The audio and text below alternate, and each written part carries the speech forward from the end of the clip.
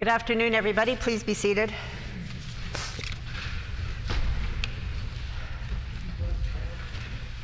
Routine proceedings, introduction of bills. The Honourable Member for River Heights.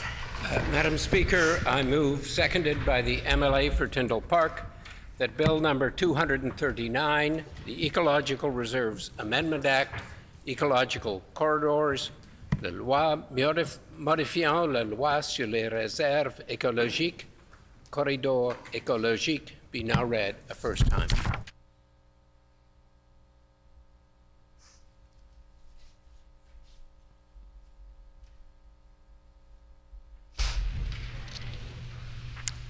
It has been moved by the Honourable Member for River Heights, seconded by the Honourable Member for Tyndall Park, that Bill number 239, the Ecological Reserves Amendment Act, Ecological Corridors, be now read a first time. The Honourable Member for River Heights. Uh, Madam Speaker, Bill 239 recognizes that, that we need to act now to help save our planet. The bill recognizes that there needs to be a fundamental shift in how we think of ecological stewardship. We need to move beyond protecting islands of habitat toward protecting ecological corridors, and we need to move beyond the view that governments can act alone and toward the view that private sector landowners, Indigenous people, and governments need to work together to provide effective stewardship of wildlife corridors. Thank you. Is it the pleasure of the House to adopt the motion? Agreed? Agreed and so ordered. Committee reports, tabling of reports ministerial statements, the Honourable Minister of Sport, Culture and Heritage, and I would indicate that the required 90 minutes notice prior to routine proceedings was provided in accordance with Rule 26, Bracket 2. Would the Honourable Minister please proceed with his statement? Good day, Madam Speaker. Dobre den.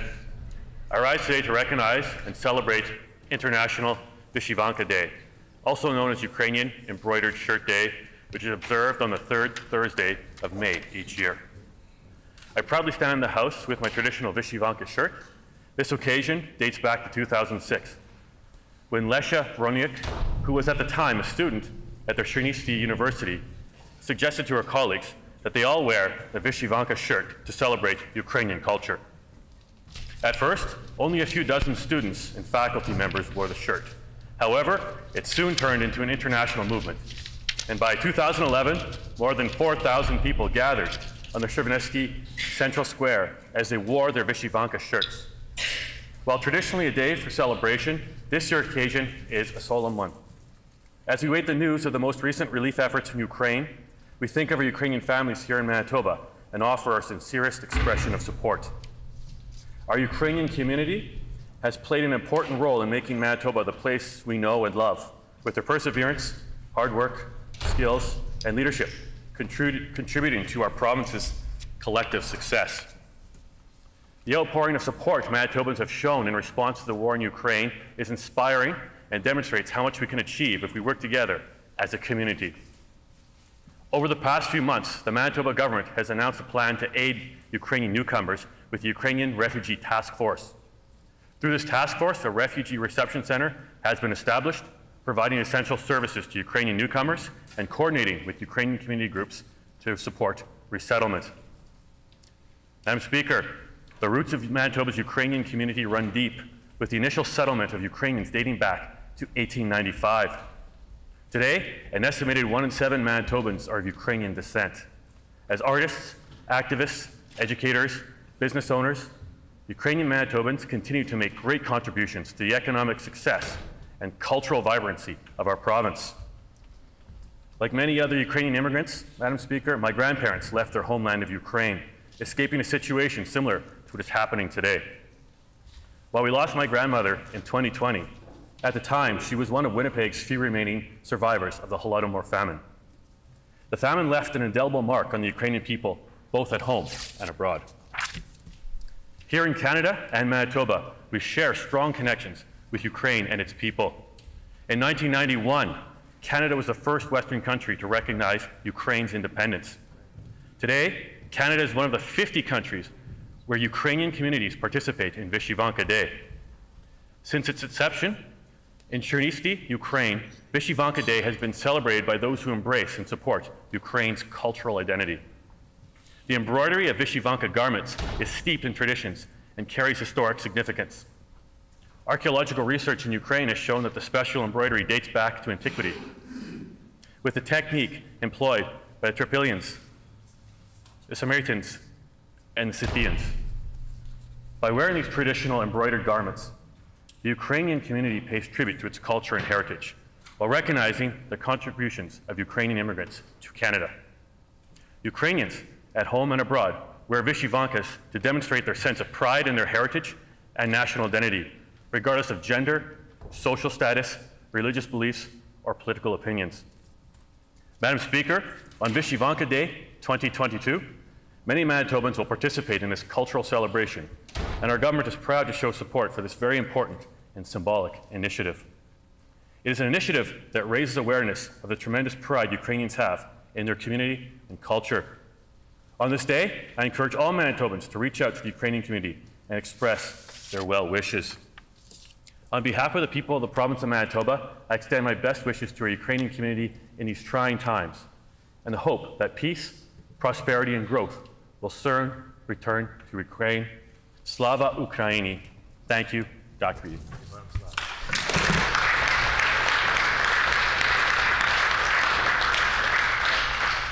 The honourable member for Fort Garry. Madam Speaker, as Ukrainian people continue to fight day in and day out to stop the vile Russian invasion, it's more important than ever to come together in support of the Ukrainian community both here in Manitoba and around the world. Vyshyvanka Day is an opportunity to do just that, to stand in solidarity with Ukrainian Canadian communities and the numerous Ukrainian communities around the world. The Vyshyvanka is a traditional at, uh, attire to the Ukrainian celebrations, worn by people regardless of their gender, social status, and religious beliefs. The traditional Vyshyvanka is a piece of artistic cultural expression. Masterful hands embroider colorful uh, patterns and designs specific to regions of Ukraine uh, into the traditional white frock. With the clothing's increasing popularity in contemporary fashion across the world, a day has been dedicated to the Vyshyvanka to acknowledge the Ukrainian heritage these garments represent and promote Ukrainian cultural awareness worldwide. The artistry behind a traditional Vyshyvanka was inspired by the power of protective symbols, which are much needed this year. Meanings behind the embroidered symbols and patterns range from circles that represent the sun and harmony grape bunches that symbolize happiness, and horses that symbolize aspiration. Today is an opportunity for Ukrainians, as well as their descendants and supporters, to wear a Vyshyvanka and to show their Ukrainian pride. At 5.30 this afternoon, the Manitoba branch of the Ukrainian Canadian Congress will gather by the Taras Shevchenko Monument to celebrate Vyshyvanka Day. We commend them and hope that this day can allow them to celebrate our heritage and nationality uh, in a time marked by so much grief. Thank you, дякую, and Slava Ukraini.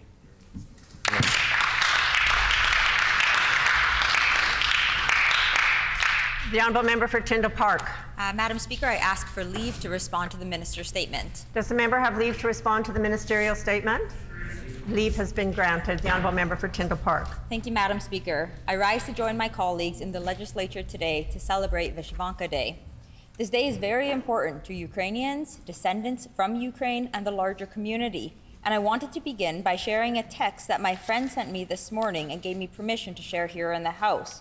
Oracia, who is a teacher at Sisler High and a strong advocate for the Ukrainian community, said, May 19th every year is National Vyshyvanka Day, and she explained how Ukrainian embroidered shirts, blouses are the protection of the soul of the Ukrainian people.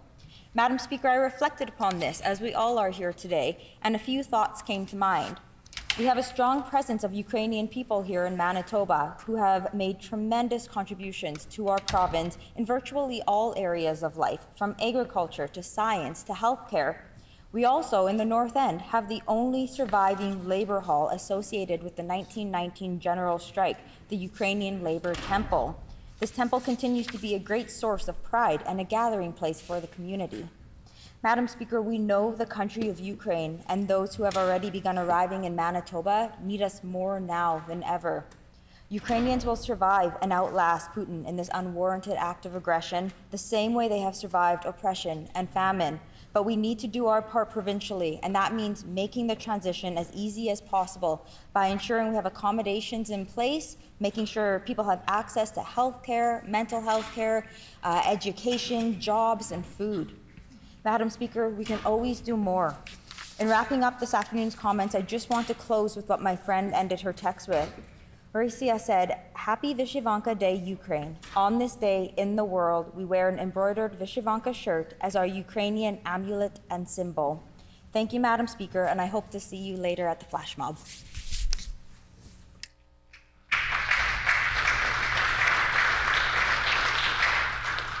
Member statements. The Honourable Minister for Sport, Culture and Heritage. Madam Speaker, I rise today to recognize hockey excellence in my community. The team is the U17 AAA Winnipeg Bruins, who captured the 2021-2022 U17 City Champions this past March. A very good season saw them finish second in regular season play. They had an unbelievable playoff run, finishing with a perfect 7-0 record. The team is made up of hockey players from St. Boniface, St. Vital, South Winnipeg, and Transcona areas, who were all born between 2005 and 2006. Of those players on the team, including coaching staff, there are five key individuals who hail from the Lagimodiere neighborhood. I start with Tyler Rial, head coach of the U17 AAA Winnipeg Bruins. He coached this award-winning team to an outstanding 21-22 season. He was a head coach for the Bantam Winnipeg Warriors the 2018-2019 and 2019-2020 seasons with city champion wins. I commend him for his great work and talented young players on his team. Next, there is Dylan Buckneck, defenseman and team captain for the U17 AAA Winnipeg Bruins.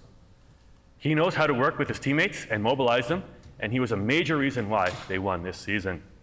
He played against the other team's top players, handily, handily shutting them down with his intelligence, keen instincts, and work ethic. Dylan is also listed as a Selkirk Steelers of the Manitoba Junior Hockey League and is also a skilled competitive golfer. Since childhood, he has also learned to work with and overcome the obstacle of his type 1 diabetes. Then there is Alex Domenico, who was one of the best goalies in the league this year. He greatly increased the team's confidence by making big saves at the most critical moments. He has been recognized for his efforts by being named the second team All Star, as well as being nominated for Goalie of the Year. He has also had three previous AA champion wins with the Railcats and two with the Warriors. Finally, we have defenseman Matthew Shotchin and forward Lucas Major. They also played key roles in a championship victory by blocking the shots. member's time has expired. Is there leave to allow the member to complete his statement? Leave has been granted. The Honourable Minister of Sport, Culture and Heritage. They also played key roles in championships victory by blocking shots, delivering big hits, and shutting down the opposing team's power plays with their excellent penalty killing abilities. Thank you, Madam Speaker.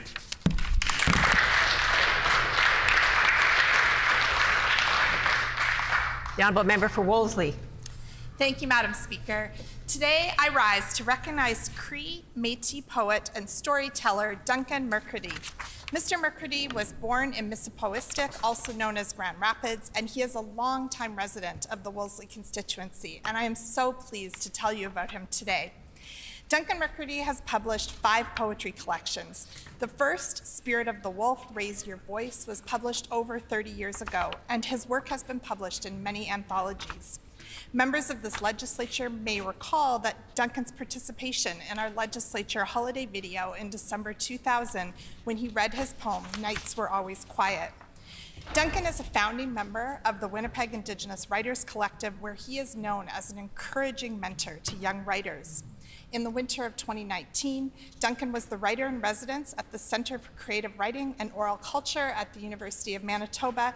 And in 2000, the Winnipeg Arts Council selected him to serve as the Poet Laureate of Winnipeg through to the end of this year. Winnipeg's Poet Laureate creates works that reflect the life of the city, commemorate at official functions, and develop their own body of writing. Duncan is only the second person to have had the honor to serve in this role. Duncan Mercredi's, Mercredi's most recent publication is a collection of 40 poems called 215. This publication was inspired by the children who died while incarcerated in residential schools and by the stories of the survivors, including his mother. The Winnipeg Art Council said of this body of work, He traces a line between the injustices of the past and the ills of the present. Amid this heaviness are moments of hope and joy, yet with the realization that these can only be realized when we acknowledge the harms of both yesterday and today. I'm so grateful to Duncan Mercredi for his role in our community and his contribution to edu- reconciliation education through the arts. Thank you, Madam Speaker.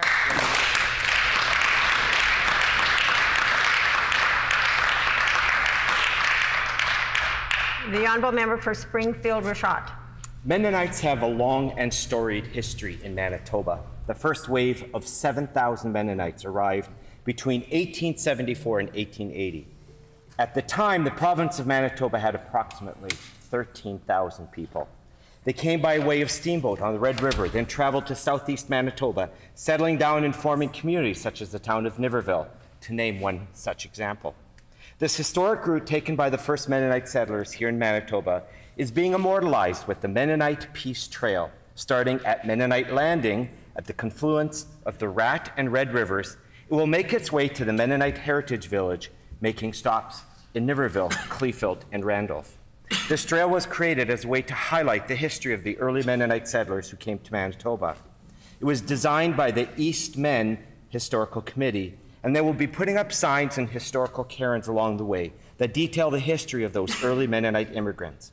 One such cairn was just unveiled on May 12th, describing the Shantz immigration sheds, located a few kilometers south of Niverville, where arriving Mennonites were able to find shelter as they made their way east. The Mennonite Heritage Village is planning a fundraiser this summer for the trail called the Peace Trek. It is always great to see the history of our communities being celebrated. I hope that future generations will be able to use this trail to understand the history of the Mennonites arriving in southeast Manitoba. Thank you.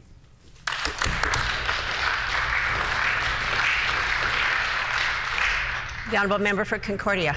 Madam Speaker, I rise today to recognize the good work of Scouts Canada and the annual Jamboree on the Trail event.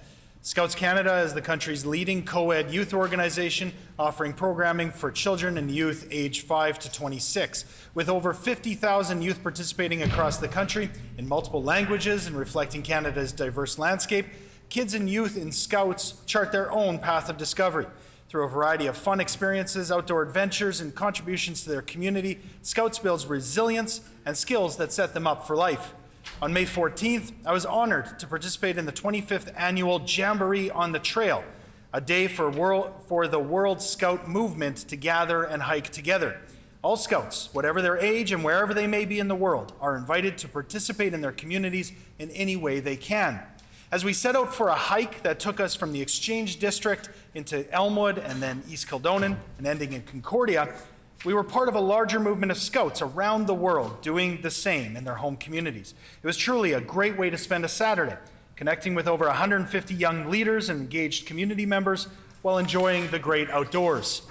Scouts Canada does invaluable work in teaching our kids about civic engagement through a variety of programs. Scouting allows kids to develop into capable, confident, and well rounded individuals who contribute positively as engaged citizens and members of their local, provincial, and national communities. Even during COVID, when in person participation was limited, Scouts across the province continued to meet and instill a strong sense of civic responsibility and environmental awareness, albeit virtually. That's why this year's Jamboree felt so important as people are seeking new and familiar ways to reconnect with their communities. Madam Speaker, I ask all members to join me in congratulating the organizers of the Jamboree on the Trail event this year, co-chairs Richard Putnam, who joins us here in the gallery today, and Claire Barube from Scout du Canada, and all the leaders and volunteers on a successful community building event.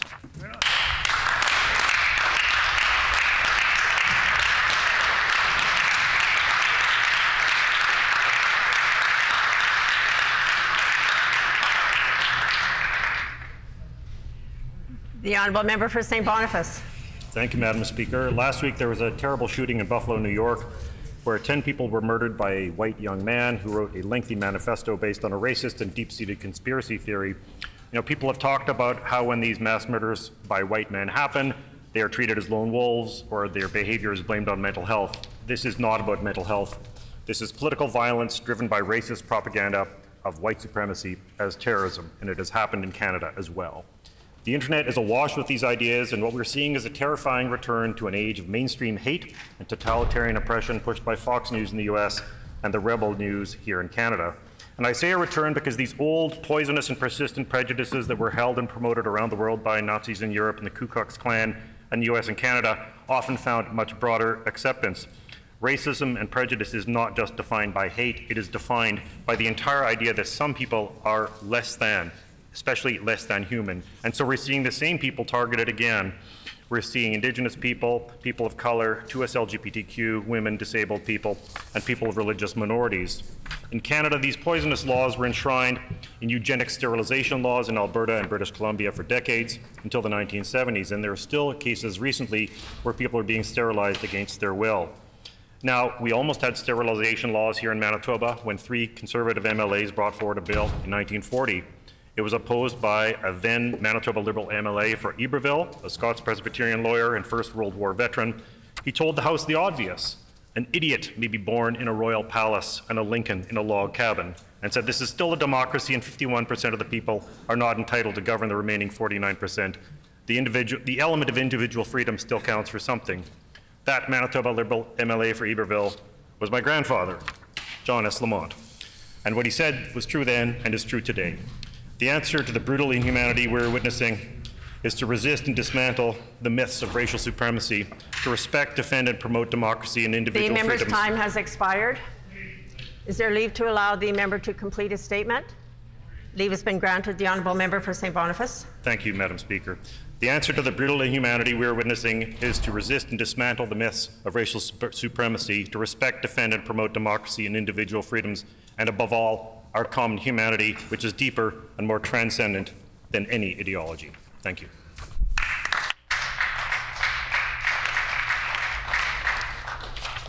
Prior to oral questions, I have some guests that I would like to introduce to you. I would like to draw the attention of all honorable members to the Speakers Gallery, where we have with us today the 2022 Summer Tour Guides. Emily Derboka, Emily Gray, Leah Patterson, Marit Stokey, and they are accompanied by our tour program manager, Claire Normando, and tour program officer, Daisy Giesbrecht. On behalf of all honorable members, we welcome you to the Manitoba Legislature.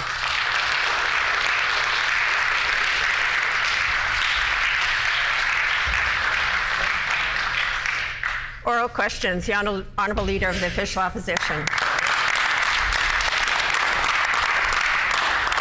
Madam Speaker, there are too many crises in our healthcare system right now, and it does not appear that the government is responding. Dr. Dan Roberts, the head of neurology at the University of Manitoba, called a news conference today, and I quote, out of desperation. There's a severe shortage of neurologists and technologists in Manitoba. That means patients suffering from stroke and epilepsy can't get, can't get the care that they need, and a multiple sclerosis clinic may soon have to close as a result. Why has the Premier done nothing to fix the crisis when it comes to neurology in Manitoba? The Honourable Deputy Premier. Well, thank you very much, uh, Madam Speaker. Uh, we recognize there are challenges uh, in healthcare. Uh, that's why, through our throne speech and our budget, we've uh, committed uh, to making record investments in healthcare in Manitoba. Uh, we've heard from Manitobans, uh, healthcare is a priority for them. As a result, our government is focused on strengthening healthcare here in Manitoba. Uh, to that, we've invested $7.2 billion in this year's budget, wow. record investment in healthcare, $1 billion more than when we came into office, Madam, Madam Speaker. This is to support uh, investments in healthcare. This is to support people in healthcare, and this is to support Manitobans.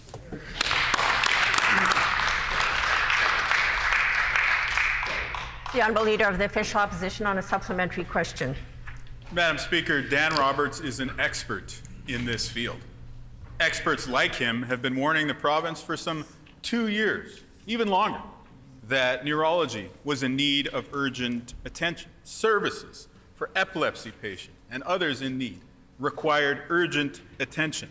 We've raised these concerns in the House many, many times, there has not been the needed response from this government. Even as we speak, the government refuses to pay attention to this urgent issue. Dan Roberts spoke publicly today. I'm sure he did not take the decision to do so lightly. This is something that the government needs to devote attention to and needs to show the proper consideration and respect for. Why has the Premier failed to address this crisis for neurology in Manitoba? The Honourable Deputy Premier. Well, Madam Speaker, we take the health and well-being of Manitobans uh, very seriously. We have three departments now looking after health and well-being of Manitobans uh, from all ages.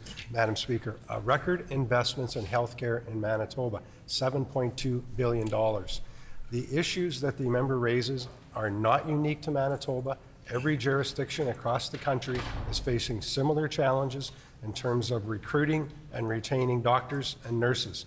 Madam Speaker, this is not new, uh, but we haven't made investments. We have a plan to strengthen healthcare in Manitoba. We have a plan based on a $7.2 billion investment to protect the health and safety of Manitobans.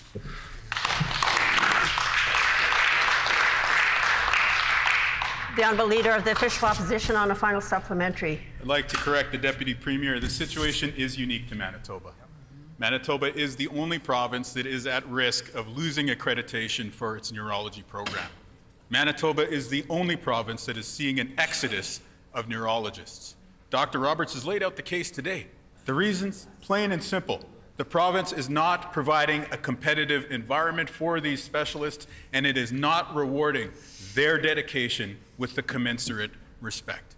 Dr. Roberts was very clear today, and I quote, this is a slow evolving train wreck and they will only respond after the crash has already occurred. These are the words of an expert. These are the words of somebody who is part of a community of experts that have been sounding the alarm for years. There has been no action to date. When will we see a response on neurology from this government?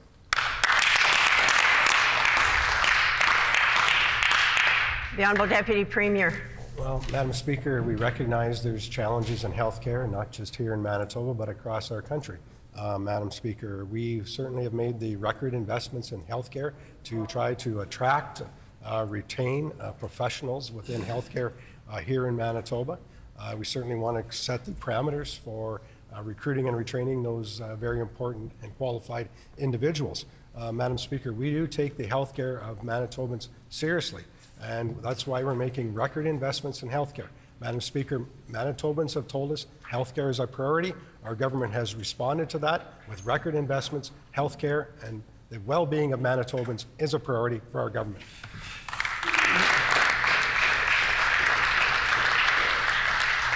The Honourable Leader of the Official Opposition on a new question. Madam Speaker, each day we seem to learn more and more about the problems with the construction of the City of Winnipeg Police Headquarters.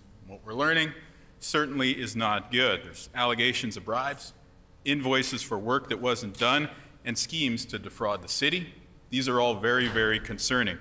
Now, we know that Winnipeggers and Manitobans deserve to know the truth. The City of Winnipeg has said clearly their council has voted in favor of a public inquiry, arguing that this would help to understand, help the people of Winnipeg to understand what has taken place.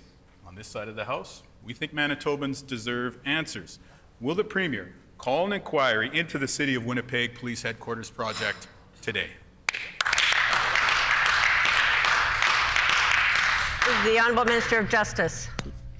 Thank you very much, Madam Speaker. The member knows that there are many civil litigations that are underway in regards to this matter.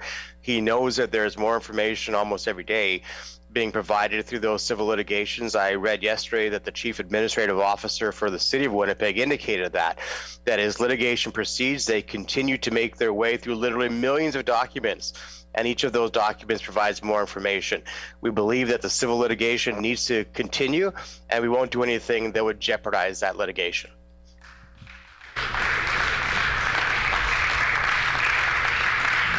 The Honourable Leader of the Official Opposition on a supplementary question. Madam Speaker, for years, the City of Winnipeg has called on the provincial government to take action and to call an inquiry. The City of Winnipeg has communicated equally clearly that calling an inquiry now would help them proceed with the other matters to which the member for Steinbach refers. We know that Mr. Pallister, the previous PC Premier, refused to call an inquiry. It would appear that the current PC government, the Stefanson government, is intent on being just like Brian Pallister. But the people of Manitoba, the people of Winnipeg, demand otherwise. The City Council has voted clearly to ask for a public inquiry. Why is it that the PC government refuses to oblige? The Honourable Minister of Justice. Uh, Madam Speaker, as I tried to explain to the member in the first answer, there continues to be information provided through the civil litigation, dozens of civil litigations working their way through the courts. The CAO of the City of Winnipeg yesterday said we're getting more information as we go through the discovery process as well. And even though uh, there are more documents coming and more to be yielded, we continue to get more information. And that is what the civil litigation and the discovery process is about getting more information. We won't do anything that might disrupt the civil litigation where there is accountability being held. Following uh, civil litigation, there could be considerations about other procedures.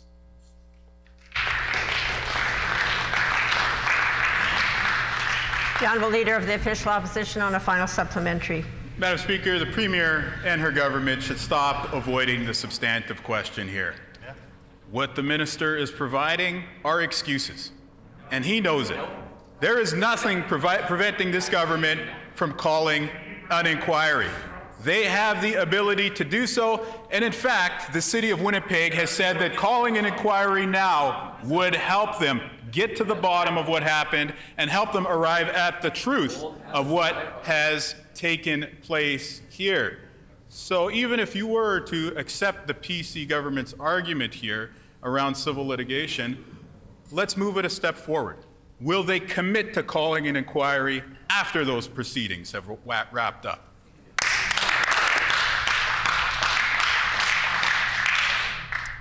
The Honourable Minister of Justice. Uh, Madam Speaker, the member opposite may have spent lots of time with lawyers, but he is not a lawyer. And we have looked for legal advice, Madam Speaker, and what is the best way to proceed? Order.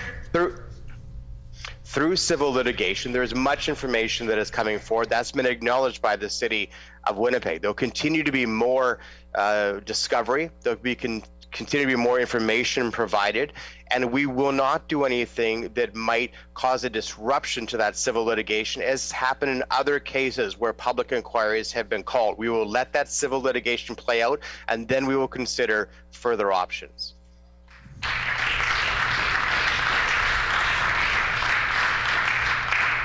The Honourable Member for Union Station. Madam Speaker, just like Brian Pallister, the Stefanson government is still pursuing his failed policies. He and his health minister, now premier, ran healthcare into the ground here in Manitoba. Brian Pallister refused to bargain with health support staff for five years. Far too many of them were left out of health top ups for their service during this pandemic. This is just one more mess that Brian Pallister made. When will the minister and this government stop following Pallister's playbook and negotiate a new contract for overworked health workers in our hospitals across Manitoba.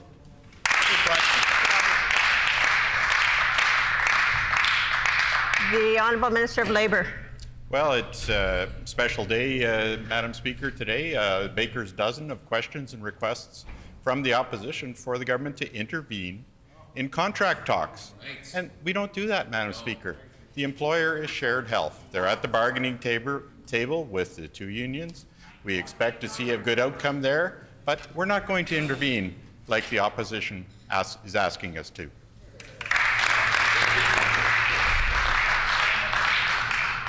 The honourable member for Union Station on a supplementary question. Madam Speaker, Manitobans are living with Brian Pallister's legacy. It's been five years since the cuts began across our hospitals. The PCs have outright broken trust with Manitobans on health care. And now they've broken trust with healthcare support staff, many of whom have been without a contract for five years. Their wages have been frozen and they were left out of COVID pay top ups. It's time to show these workers the respect that they deserve, Madam Speaker. When will the minister and this government ensure COVID top ups and a new contract for the very hardworking Manitoba uh, frontline healthcare staff and support staff. The Honourable Minister of Labour. Thank you, Madam Speaker. So on one hand, we have Shared Health as the employer. On the other hand, we have the unions representing the workers. In between, they have their professional negotiators, Madam Speaker. There's no space there for the government to intervene, and we do not do so.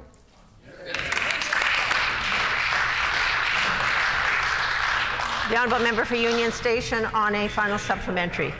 Madam Speaker, the minister and his government were perfectly happy to intervene and freeze the wages of these very workers and deny them COVID top-up pay. Shameful. Madam Speaker, it's Brian Pallister may be gone, but it's clear his legacy still lives on, and in the plans of the members opposite, inflation is now running over 7%. Many health support workers have had their wages frozen for years, Madam Speaker, and they've put themselves at risk providing direct care to those infected with COVID 19.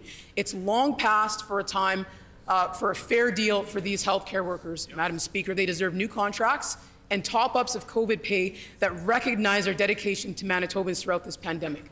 When will the minister and this government have a new contract for frontline healthcare workers?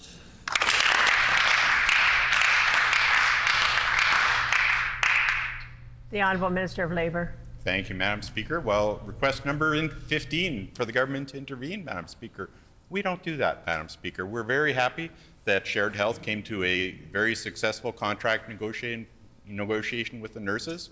We expect those negotiations to continue with the other unions that the member references, and we'll see what that outcome is, Madam Speaker. We, as the government, do not intervene.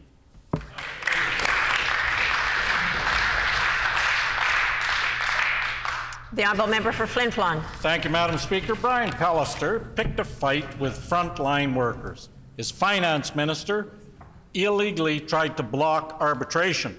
They fought against fair collective bargaining all the time. And what do they have to show for it? Absolutely nothing, as the recent arbitration ruling clearly shows us. This is just one more mess that Brian Pallister left behind, but every member on that side fully supported Brian Pallister in creating that mess. So will the Stefanson government renounce Brian Pallister's approach, allow bargaining to take place fairly, in good faith, going forward?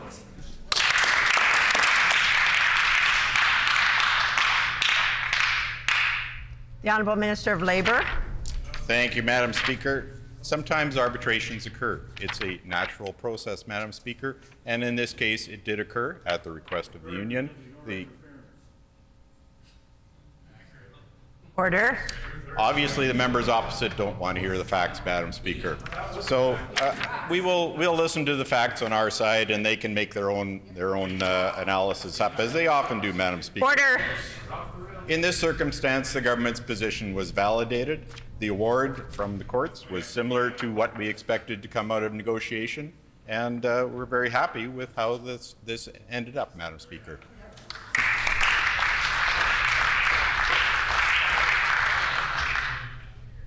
Order.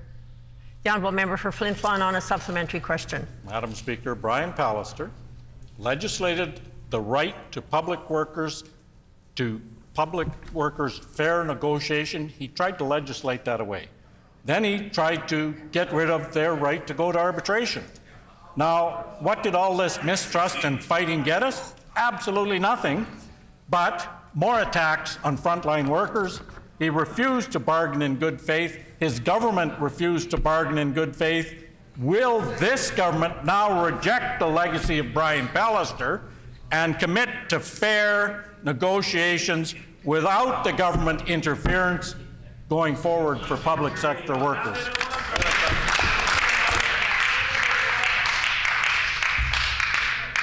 Order. Order. The Honourable Minister of Labour. Thank you, Madam Speaker. Well, the previous question was asking me to intervene in negotiations, Madam Speaker. This question is asking us not to intervene in negotiations, Madam Speaker. Which is We've clearly stated that we do not intervene in negotiations between Shared Health and other, other unions, Madam Speaker. That's their job. When the courts intervened on this part, uh, you know, I'm very pleased to see that government public servants have a new collective agreement with retroactive pay. It was always contemplated in the negotiations and never in doubt, Madam Speaker.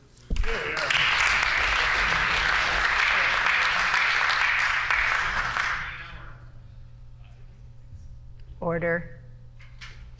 The honourable member for Flin Flon on a final supplementary. The fact that this minister can say what he just said with a straight face is just mind boggling. For years, this government has disrespected workers, they've fired workers, and years of mistrust and fighting with public sector workers, frivolous lawsuits achieved absolutely nothing except Order. to hurt the services Manitobans depend on. Manitoba repeat of the Pallister mess. Will this Premier reject Brian Pallister's approach, commit to fair negotiations with public sector workers, and abandon all their appeals of court cases?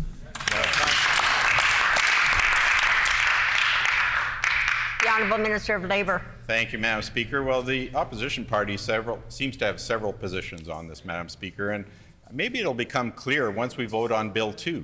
Uh, Bill 2 to repeal legislation, Madam Speaker. So they have a choice. They have a choice to vote in favor of repealing that legislation, or if Order. they vote against repealing that legislation, then that means they want that bill, the previous act, to continue. Which is it, Madam Speaker? They need to make a choice. They don't know. They don't know.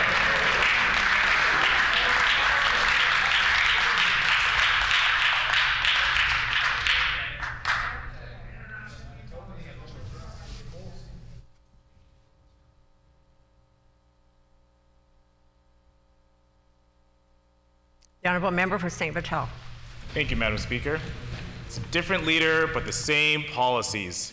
Yep. Brian Pallister's legacy lives on in this government's approach to post-secondary education. And just like Brian Pallister, this government continues to increase tuition and cut funding for post-secondary institutions. New data shows that the government has cut funding by nearly 18% since 2016. Order and at the same time, students are paying 16.3% more. Tuition hikes and funding cuts hurt students and our institutions. Will the minister reverse these trends, and will he do so today?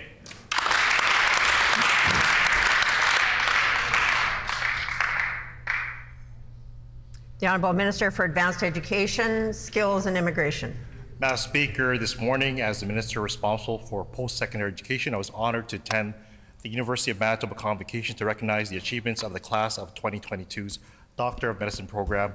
This was the first in-person celebration in over two years, and I was overjoyed to see them walk across the stage amongst their families and friends. I was impressed to hear that of the 113 graduates, 84 will remain in Manitoba to complete their medical residency, with 26 having a rural connection.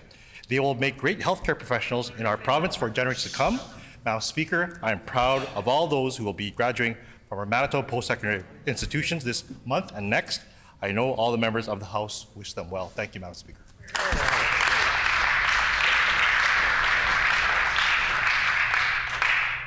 The Honourable Member for St. Vital on a supplementary question. Madam Speaker, just like Brian Pallister, this, this government can't give a straight answer. They don't know when it's wrong and they don't know when to reverse course. After interfering in salary negotiations in 2016, a judge recently ruled that the province owes the University of Manitoba Faculty Association $19.3 million in damages. This amount makes up for lost wages due to the strike and for salary negotiations. And rather than accept this ruling, rather than accept their own wrongdoing and learn from their mistakes and uh, move on and change from the error of their ways, the Premier appeals the decision. So why does the Premier insist on following the path of her predecessor, Brian Pallister, and challenge this court decision? The Honourable Minister of Labour. Thank you, Madam Speaker. Well, when it comes to courts, Madam Speaker, we, uh, like everyone else, take legal advice, and we listen to that legal advice just like the other parties have in this case. So we are seeking further clarity.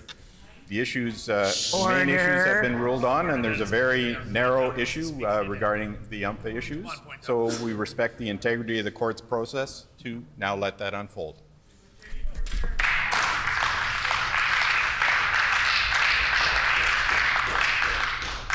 The honourable member for St. Vital on a final supplementary. Make no mistake, they've changed their leader, but nothing else has changed. They still hike tuition at post-secondary. They still cut funding for post-secondary. Order. And they're still fighting UMFA in court. And just like Brian Pallister, the government refuses to listen to students and faculty. They, can they refuse? They refuse to remit, admit their wrongdoing. Will the minister admit what they've done wrong, reverse course, listen to students, and will he do that today?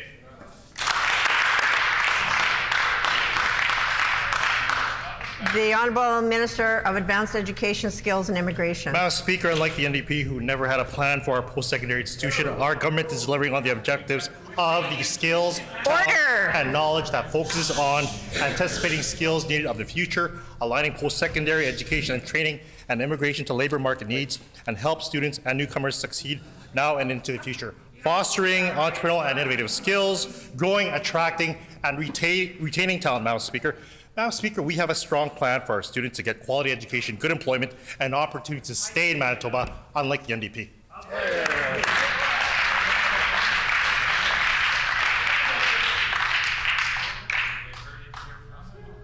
Order. Order. The honourable member for Keewatinook Thank you, Madam Speaker. When Brian Pallister was Premier, he clawed back millions of dollars earmarked for indigenous, indigenous children in care. This continued the member from Tuxedo was the Minister of Families, and then the Premier voted to try and make this clawback illegal through legislation. The courts have ruled against this government. It's clear their legislation was unconstitutional. However, we're aware the Premier will appeal, will appeal this decision. Will the Premier commit to not appealing this decision and to acknowledge her government's legislation was unconstitutional?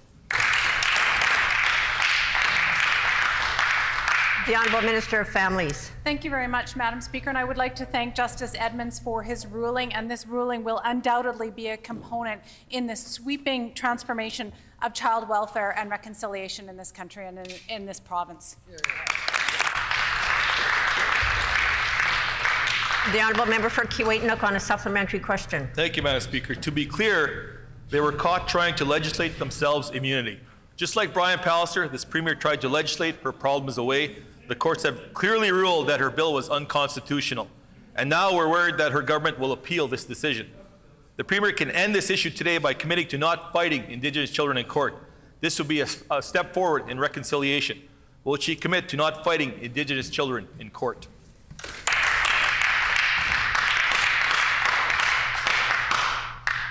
The honourable minister of families. So thank you very much, Madam Speaker. And for this member's awareness, I would like to table a letter. It's dated July uh, 6th of 2006, which is mandating retroactively that all agencies need to remit the allowances that they received on behalf of the children.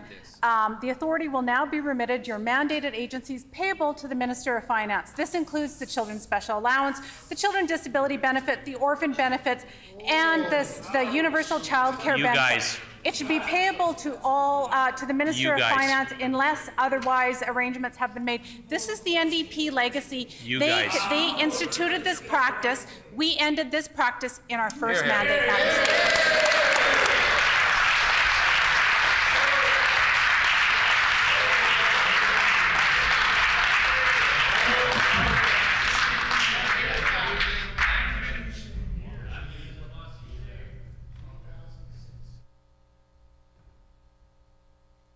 The honourable member for Keewatinook on a final supplementary. Thank you, Madam Speaker. Let's be clear. It is this government that legislated that right of those Indigenous children to go to court and fight for their rights.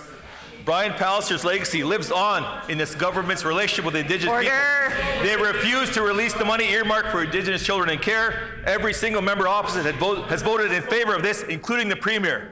And now the courts have ruled against them, calling it unconstitutional and discriminatory. The Premier should stop trying to silence Indigenous children's voices and allow these children to have their day in court. Will she do so today?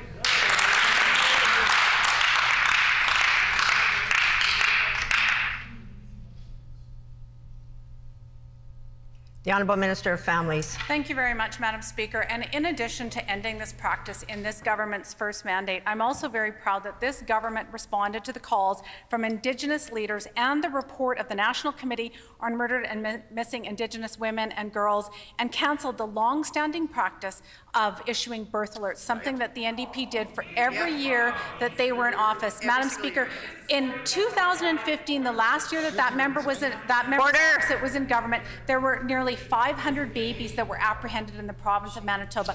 We took action. We are following uh, following Order. the recommendations of the leaders in the community, and we ended that practice of issuing birth alerts. And we believe in reconciliation and family unification. Yep. And our government recognizes that there's a long way to go, but we're going to keep fighting for vulnerable children in the province.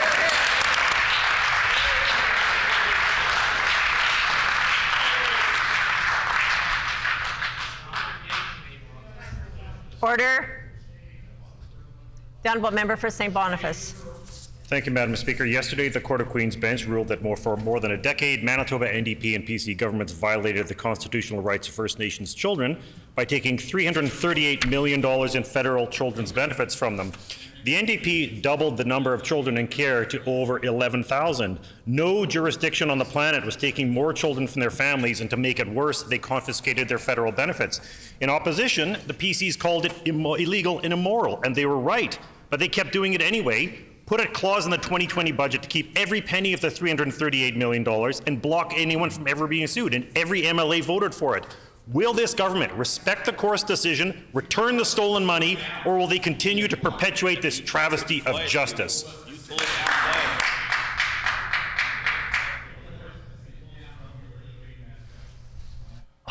Order. Order. Order. Order.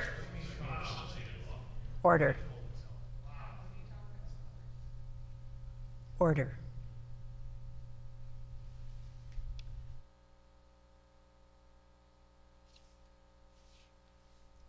The Honourable Minister of Families.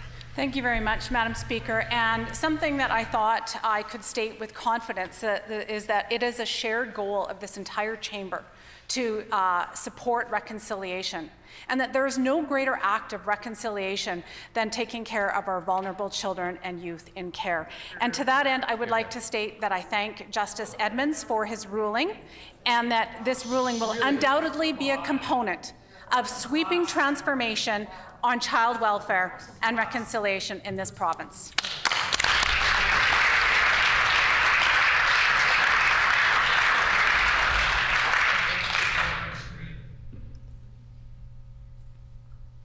Like to um, ask members, I'm going to call members to order. There is absolutely no, there is to be more respect in here. And while we don't maybe like the answers to the questions, that doesn't give people the right to incessant heckling. That makes it very, very difficult for me to hear what is being said. And um, I'm, I'm asking for everybody's cooperation. The Honourable Member for St. Boniface on a supplementary question. Thank you, Madam Speaker. Manitobans and Canadians should understand that Canadian governments, especially the Manitoba government, have never stopped tearing Indigenous families apart. They are still doing it now. Residential schools, the 60 Scoop, CFS, and mass incarceration are all part of the same thread. And it has been impossible for First Nations children to get justice because of the complicity of both the PCs and the NDP, who together for decades treated First Nations and people living in poverty worse than any other province. EIA, housing, justice, CFS, child poverty, every single one of provincial jurisdiction where pleas from activists and progressives were ignored Order. and betrayed for a generation. Will this government make it right, apologize, and return the $338 million to the First Nation children? And prior to recognizing the minister, I am going to have to call the member for Point Douglas to order. The um, Honorable Minister of Families. Well, thank you very much, Madam Speaker. And while it's obvious that, the, that the, this Liberal member has a lot to say, I don't recall him using his voice when Ottawa was appealing a decision that discriminated against First Nations children across this entire country. I don't remember him raising that in this House. And so he has a lot to say today but I certainly wish that he'd used his voice and had this passion for advocating for children when his Liberal Party was uh, discriminating against children in this country in the child welfare system. Yeah.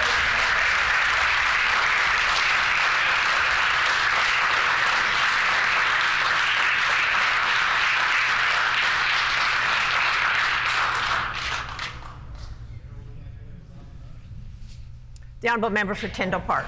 Thank you, Madam Speaker. Over the pandemic, many low-income Manitobans were relieved to be able to receive CERB as a federal assistance to help them get by. One such person is a single parent of two with a disability who relies heavily on rent assist and pharmacare to be able to support their family. Unfortunately, the provincial government has policies that have determined the federal benefit to be considered an income. This is immoral as CERB was never an annual income and has been discontinued for some time now. What will this government do to ensure low-income Manitobans won't lose hundreds of dollars from their rent assist benefit and have significantly higher pharmacare deductibles? The Honourable Minister of Finance. Well, I thank the member for a poignant question on uh, affordability for Manitoba families. Uh, the member asks, what is the government uh, prepared to do? Uh, we know that all Manitoba households need financial relief now due to hyperinflation, rising costs of groceries and fuel and other things. Economists continue to point out that the impact of the rebate that this government is bringing is greater in low-income households where there is less discretionary income and where basic household costs take up more of their paycheck. It matters more. And so today is the day for the NDP and the Liberal parties to support our Bill 39 to bring tax relief to Manitobans. Will they? Yeah.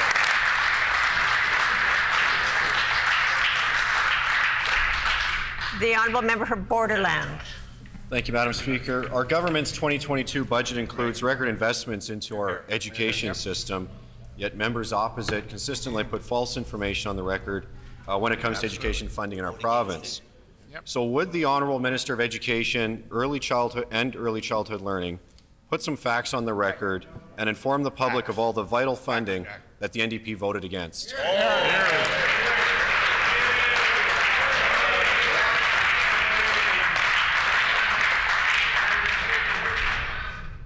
The Honourable Minister of Education. Thank you, Madam Speaker. I'd like to thank my honourable member from Borderland for that great question, Madam Speaker, on education funding. Madam Speaker, this coming school year, 22-23, is going to see $120 million wow. more in education funding. On top of that, Madam Speaker, $7 million to, special, to students with special needs. Madam Speaker, this is a $1.62 billion budget for this coming school year, 22-23. That's $230 million more than the NDP ever put into education. That doesn't include the capital costs, the COVID, the safe school spending, Madam Speaker. More good news, they voted it all voted against it all, Madam Speaker.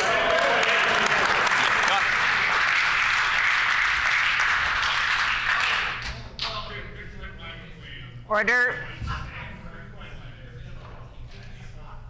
Order. Order. The Honourable Member for Fort Garry. Madam Speaker, just like Brian Pallister, this government is putting wealthy corporations ahead of regular people. Rather than helping regular people, they're borrowing tens of millions of dollars to hand out checks to out-of-province corporate landlords.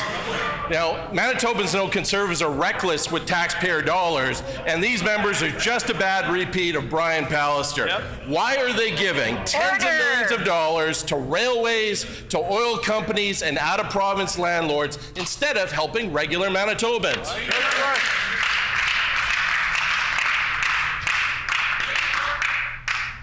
Order.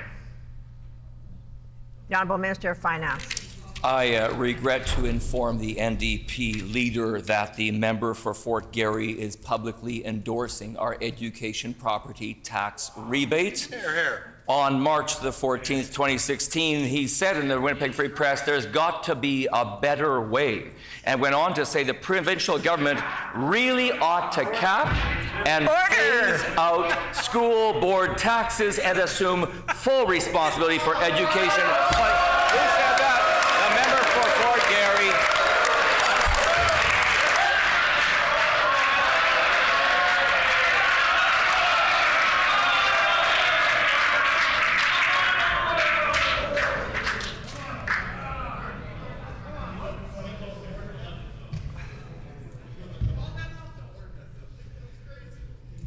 I'm standing, which is calling everybody to order. The honourable member for Fort Garry on a supplementary question. Yeah, Madam Speaker, just like Brian Pallister, this government is cutting health and education in the midst of a crisis. Now they're borrowing tens of millions of dollars for railroads, oil companies, and out of province corporate landlords. It's wrong. We all know it's wrong. And these members are just repeating the same mistakes as Brian Pallister. So why are they giving tens of millions of dollars to railroads, oil companies, and of province corporate landlords instead of supporting our schools and healthcare? Good.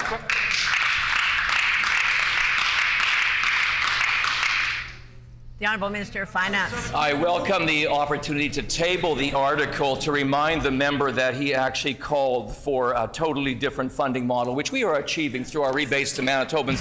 More importantly, yesterday we debunked the member's ridiculous notion that somehow this is corporately going out. That member knows that the cornerstone of any commercial lease Order. is the idea of triple net, whereby the tenant, who is his constituent, pays the full freight on their education property tax bill and gets the rebate back. When will that member and that party stop deliberately misleading Manitobans and support our plan to put more tax relief in the pockets of hard-working Manitoba families?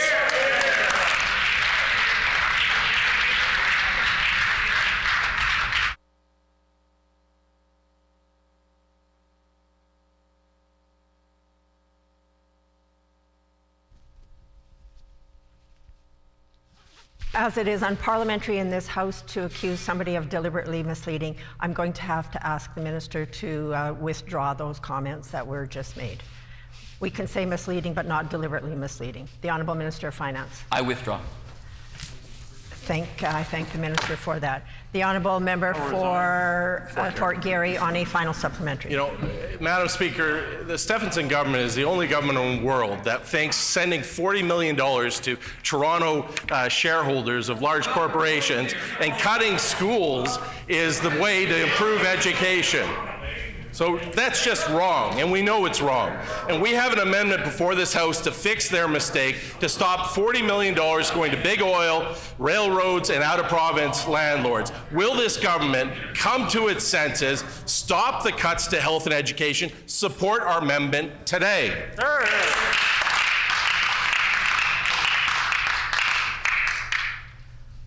The Honourable Minister of Finance. The member actually said yesterday about this tax relief package, we are looking at something that nobody has asked for. No one has asked for this tax break. That member is completely out of touch. That party is completely out of touch. An Angus Reid poll suggests that half of Manitobans are concerned that they will not be able to keep up with cost of living. Order. This tax relief comes at a critical time for Manitoba families. They're shouting down the low-income families that they are standing between them and getting that tax relief. Our government will continue to fight for affordability for all Manitobans. Will they join the fight today?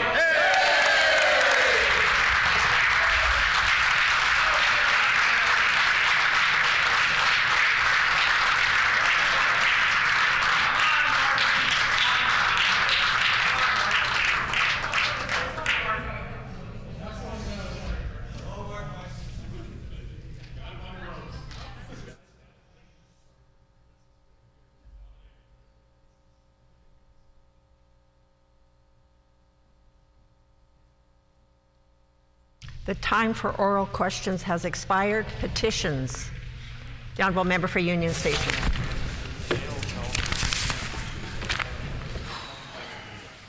Madam Speaker, I wish to present the following petition to the Legislative Assembly.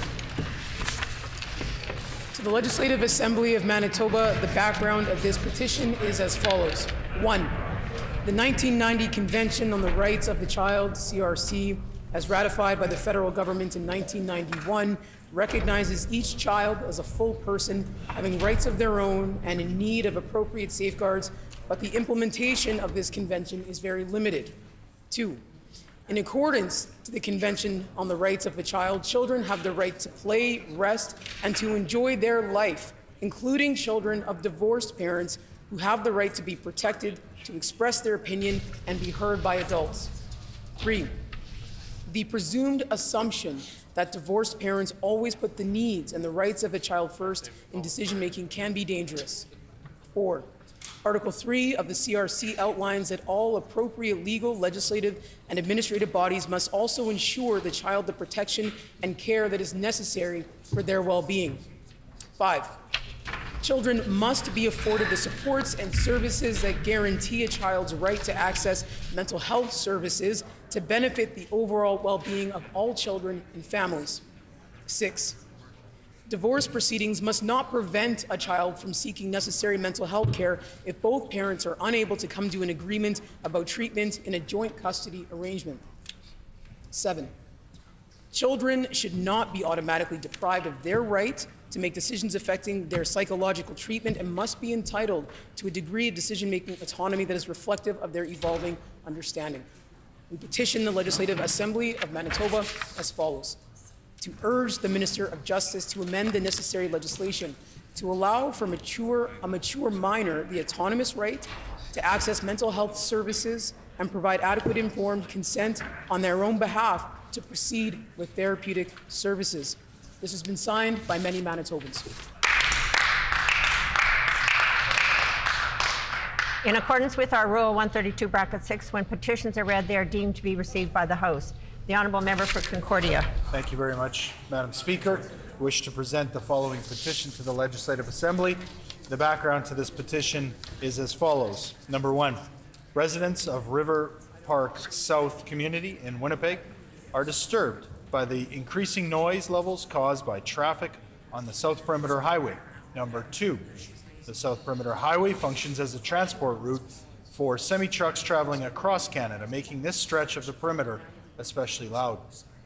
Number three, according to the South Perimeter Noise Study conducted in 2019, the traffic levels are expected to increase significantly over the next 20 years, and backyard noise levels have already surpassed 65 decibels.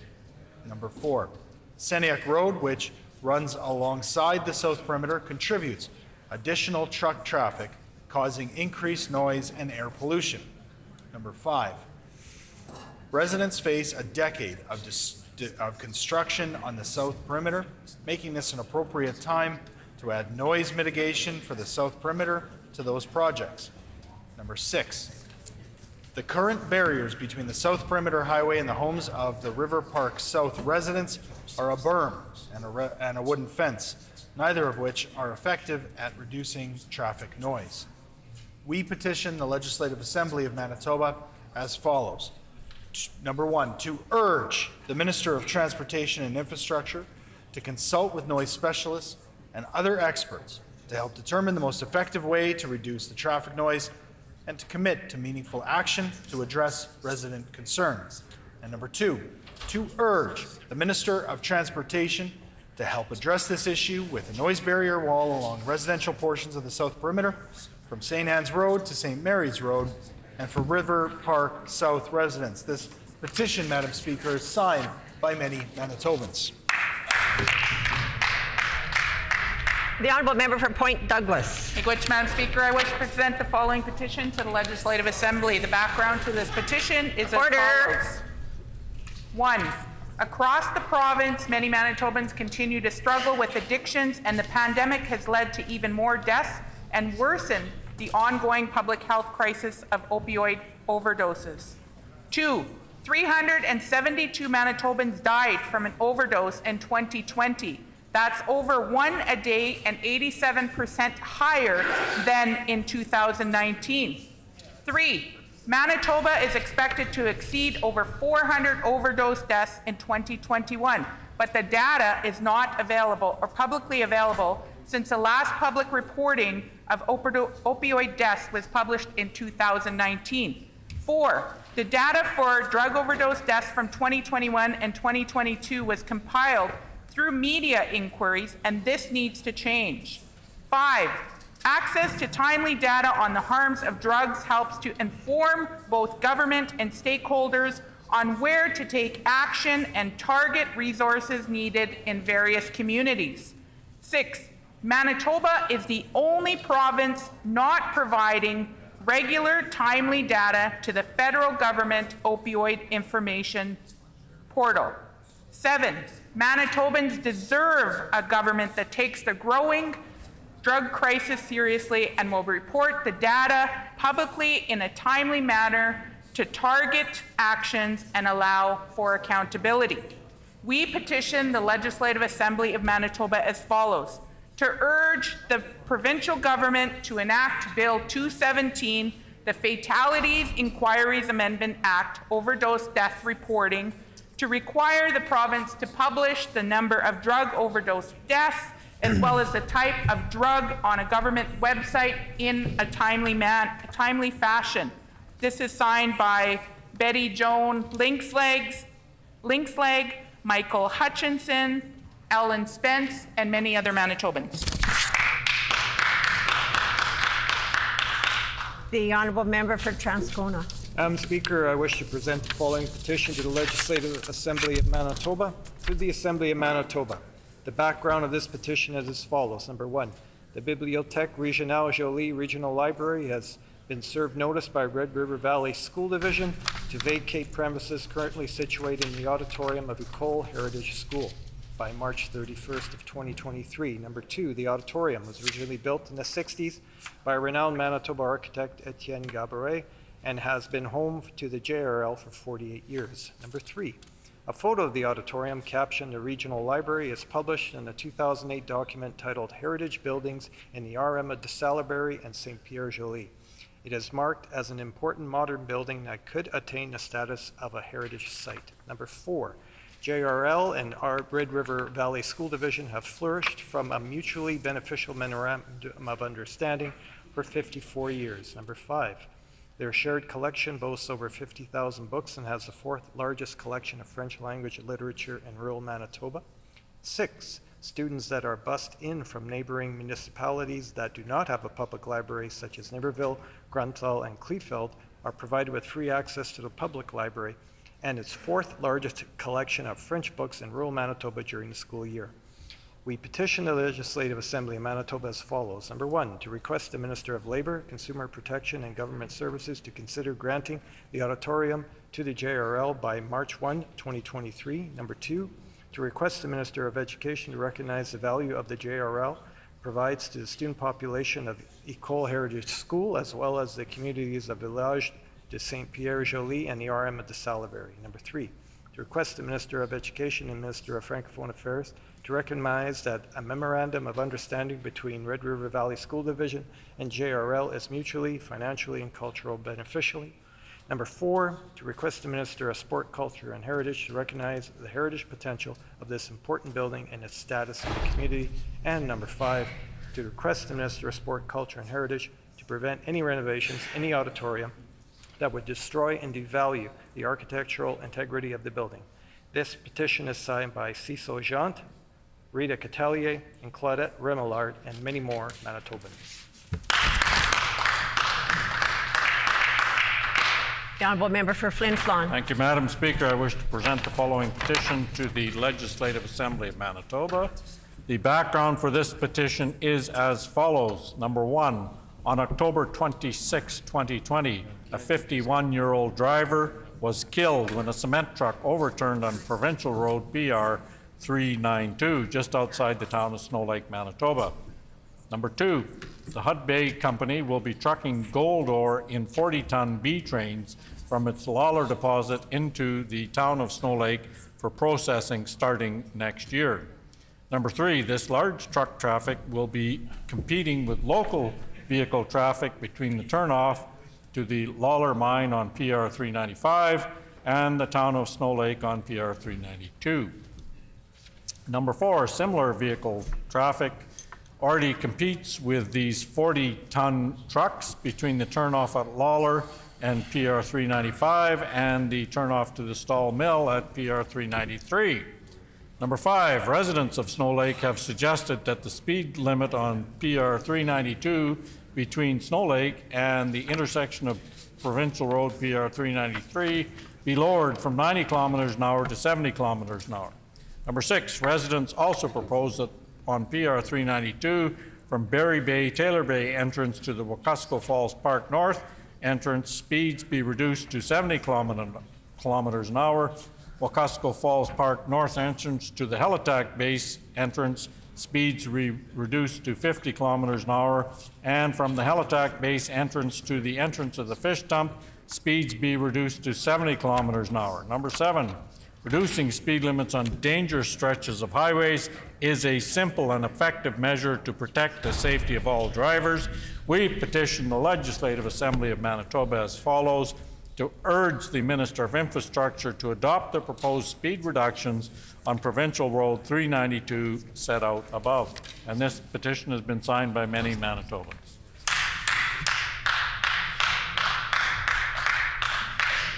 The Honourable Member for Elmwood. Thank you, Madam Speaker. I wish to present the following petition to the Legislative Assembly. The background to this petition is as follows. Number one, the spike in catalytic converter thefts occurring across North America has hit Winnipeg. The price of precious metals in catalytic converters like rhodium, palladium, and platinum are worth thousands of dollars an ounce. Scrap metal recyclers have catalytic converters priced to the vehicle, with some catalytic converters worth $800. Number two, organized groups of criminals are climbing under vehicles and cutting catalytic converters and selling them to scrap metal recyclers for cash without any record of these transactions. Number three, catalytic converter thefts cost consumers about $2,000 for each replacement Manitoba Public Insurance charges a betterment fee for new replacements, so insurance doesn't cover the full cost. Number four, currently sellers do not have to provide government-issued photo ID and recyclers do not need to record and retain the information or record details of the transaction. Number five, scrap metal recyclers do not report to police any transactions involving catalytic converters. Number six, provinces like BC and Alberta have scrap metal recycler legislation requiring businesses to keep proper records. We petition the Legislative Assembly of Manitoba as follows to urge the provincial government to bring in consumer protection legislation requiring scrap metal recyclers to keep proper records so only legitimate sales are allowed and criminals can be caught. And this petition is signed by many, many Manitobans.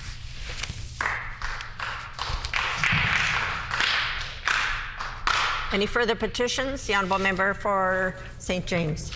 Merci, Madame la Présidente. Je désire présenter la pétition suivante à l'Assemblée législative. Le contexte de cette pétition est le suivant. 1. La Bibliothèque régionale Regional Library a été avisée par la division scolaire Vallée de la Rivière-Rouge de libérer les locaux actuellement situés dans l'auditorium de l'école Héritage School, ici le 31 mars 2023. Deux, l'auditorium a été construit dans les années 1960 par le célèbre architecte manitobain Étienne Gabouri et il a été installé depuis 48 ans. Trois, une photo de l'auditorium intitulée La Bibliothèque régionale est publiée dans un document de 2008 intitulé Bâtiments patrimoniaux des MR de Salaberry et Saint-Pierre-Joli. Il a indiqué qu'il s'agit d'un bâtiment moderne important qui pourrait atteindre le statut de site patrimonial. Quatre BRG et DSVRR ont prospéré grâce à un protocole d'entente mutuellement bénéfique pendant 54 ans. Cinq, leur collection commune compte plus de 50 000 livres et possède la quatrième plus grande collection de littérature de langue française dans les régions rurales du Manitoba.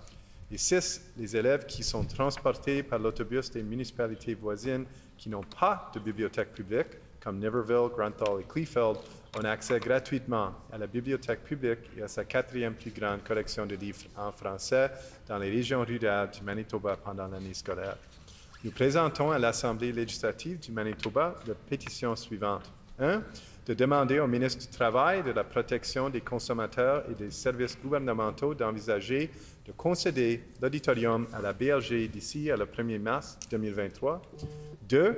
De demander au ministre de l'Éducation de reconnaître la, val- la valeur que la BLG apporte à la population étudiante de EHS ainsi qu'aux communautés de village de Saint-Pierre-Joli et de la MR de Salaberry.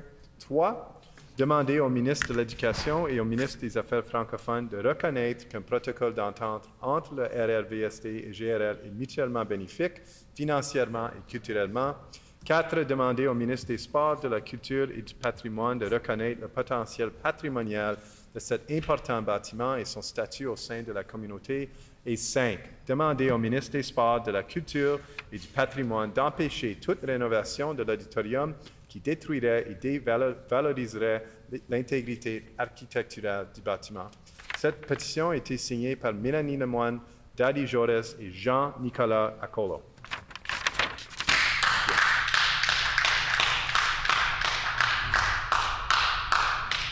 Any other petitions? The honourable member for Notre Dame. Madame la Présidente, je désire présenter la pétition suivante à l'Assemblée législative. Le contexte de cette pétition est le suivant. 1. La Bibliothèque régionale Jolie Regional Library, GBRG, a été avisée par la Division scolaire Vallée de la Rivière Rouge, DSVRR, de libérer les locaux actuellement situés dans l'auditorium de l'école Heritage School, EHS, d'ici le 31 mars 2023. 2.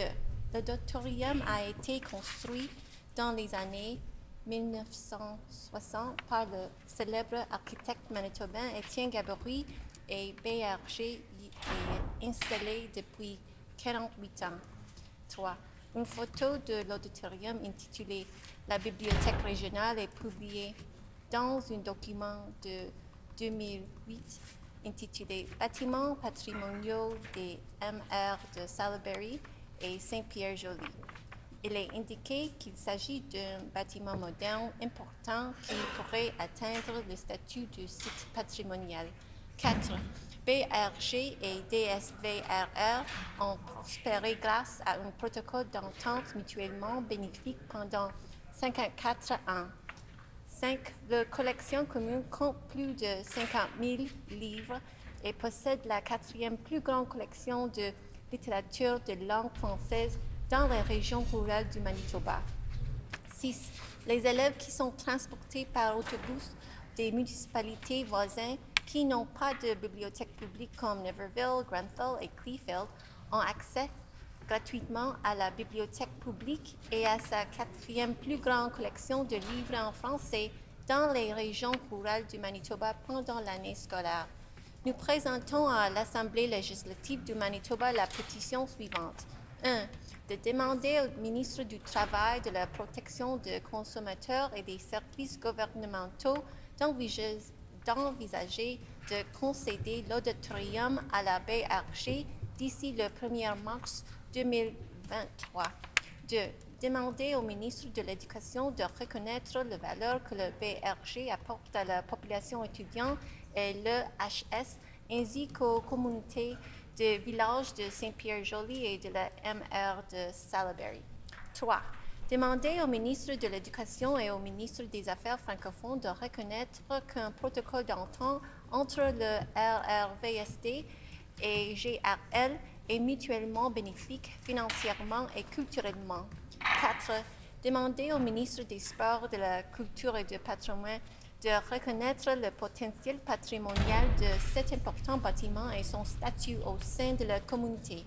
5 demander au ministre des Sports, de la Culture et du Patrimoine d'empêcher toute rénovation de l'auditorium qui détruirait et dévaloriserait l'intégrité architecturale du bâtiment.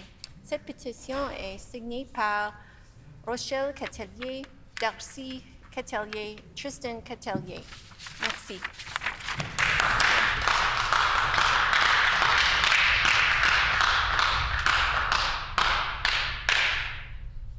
Any further petitions? If there are no further petitions, then I will move on to grievances.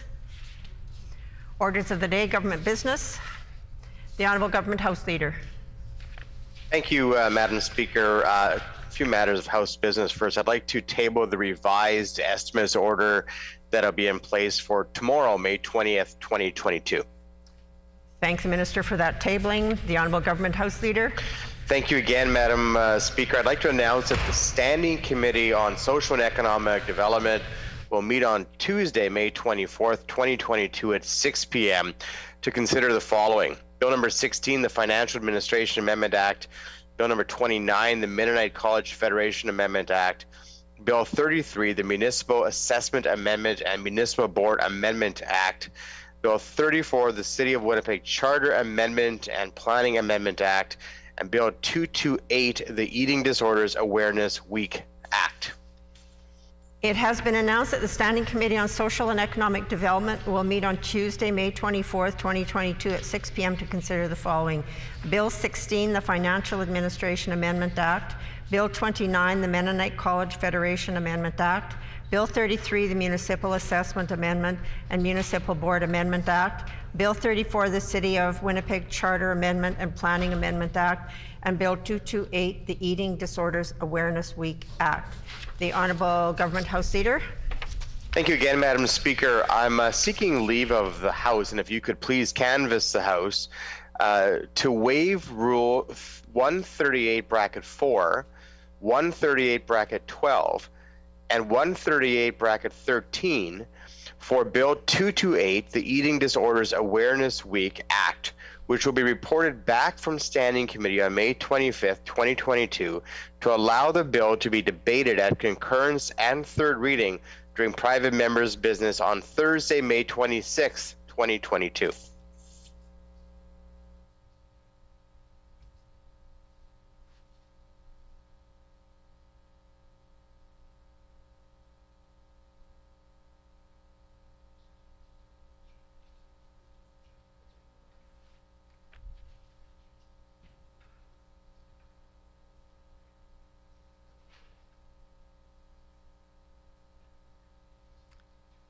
Is there leave to waive rules 138 bracket 4, 138 bracket 12, and 138 bracket 13 for Bill 228, the Eating Disorders Awareness Week Act, to allow the bill to be debated at concurrence and third reading during private members' business on Thursday, May 26, 2022? Is there leave? Leave has been granted. The Honourable Government House Leader. Uh, thank you again, Madam Speaker. Uh, could you please call for consideration this afternoon Bill number 39, the Appropriation Act 2022 School Tax Rebate, which I believe is in the Committee of the Whole? It has been announced that the House will consider Committee of the Whole for the appropriation for the um, Appropriation Act 2022 school tax rebate. The House will now resolve into Committee of the Whole. Mr. Deputy Speaker, please take the chair.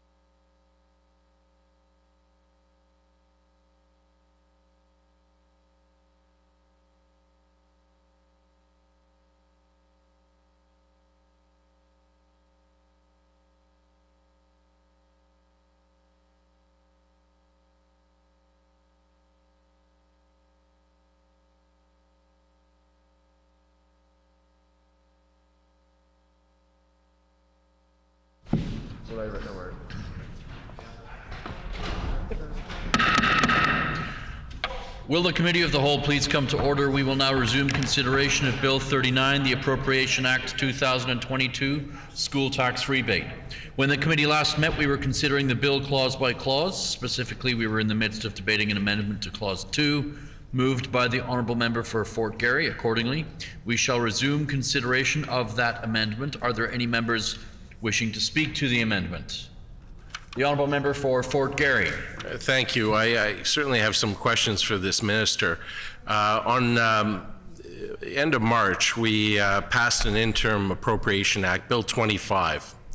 This authorized the government to spend up to 75% of last year's budgeted appropriations uh, in, in the current fiscal year. So that, that gives this government authority to spend 75% of each appropriation. Last year's school tax rebate was budgeted at $310 million, uh, 600,000. As a result, the government can spend up to 232 uh, million 950,000 on this particular program, given the authority granted in interim supply. Now, Bill 39 requests an amount of 349,800,000 to spend. That leaves a difference of about 116,850,000 that the government apparently believes it doesn't have the authority to access in order to issue these checks. Uh, however, we know uh, that the government budgeted 1.3 billion in internal service adjustments uh, under enabling appropriations, 75% of which have already been granted to this government, giving this government a cushion of 975 million dollars. So I want to ask the minister. Does he believe the government lacks legal authority to issue the education property tax rebate checks in June without the passage of this bill? Are there any other members wishing to? Sp- oh, the honourable minister. So the member is indeed mistaken. It would not be the first time. I want to clarify the record for that member and indicate and remind him that last year's education property tax rebate that was designed to return 25% of that rebate to households and farmland and 10% to commercial categories and classifications of property was actually voted through a statutory appropriation. It was not a voted appropriation.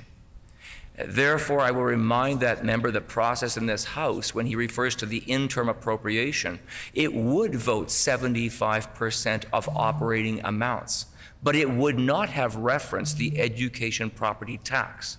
That member will also stand, uh, understand that the rules of the legislature would not allow the government to spend money on a new program. This is a new program for all intents and purposes because, of course, this program has expanded the credit to 37.5% uh, of a rebate to households and farmland. These are rebates and tax relief that the NDP members all oppose. Right now, we have hundreds of thousands of acres of farmland underwater in Manitoba, and the obscenity is that the NDP is opposing relief. And that member for Fort Garry has actually put on the record that no one is looking for this tax relief, while he knows that there are hundreds of thousands of acres of farmland that would in a normal year have been planted and now remain unseeded. I would love for that member to actually go and do a farm survey and meet with hardworking farm families who cannot get onto the land, who cannot work that land, who cannot plant a crop, who cannot contribute to growing food in this province. The, but let me be very clear to the member's question. If he understands the rules of this House, he will understand that the government has no authority in the Interim Appropriation Act to return those rebates to Manitobans. It is this bill that will provide that authority because this is a voted appropriation. Why? Because that is the way the legislature should, uh, in, in conventional ways, uh, debate and consider proposals like this one. The debate has been clearly defined. While all Canadians and indeed Manitobans are focused on affordability because of rising prices, hyperinflation, grocery bills that are up 10 and 15 percent, the, the cost of a tank of gas up 50 percent, the NDP alone stands by themselves and says no one wants tax relief. in fact, the member for Fort Garry only yesterday went on the record and said that this was something we were debating that no one was looking for. Hundreds of thousands of acres of farmland underwater, hundreds of thousands of Manitoba households, where a new Angus Reid poll just indicated that 53% of respondents on a new survey said they are not being able to keep up with the rising cost of living. When it comes to emergency expenses, 51% reported they would be unable to cover an unexpected $1,000 bill then how important would a $600 average size tax rebate be to that family? That member says, unimportant in every respect. Our government disagrees. The NDP will always say it is not the time for tax relief. The NDP will always say it is the time to jack up taxes.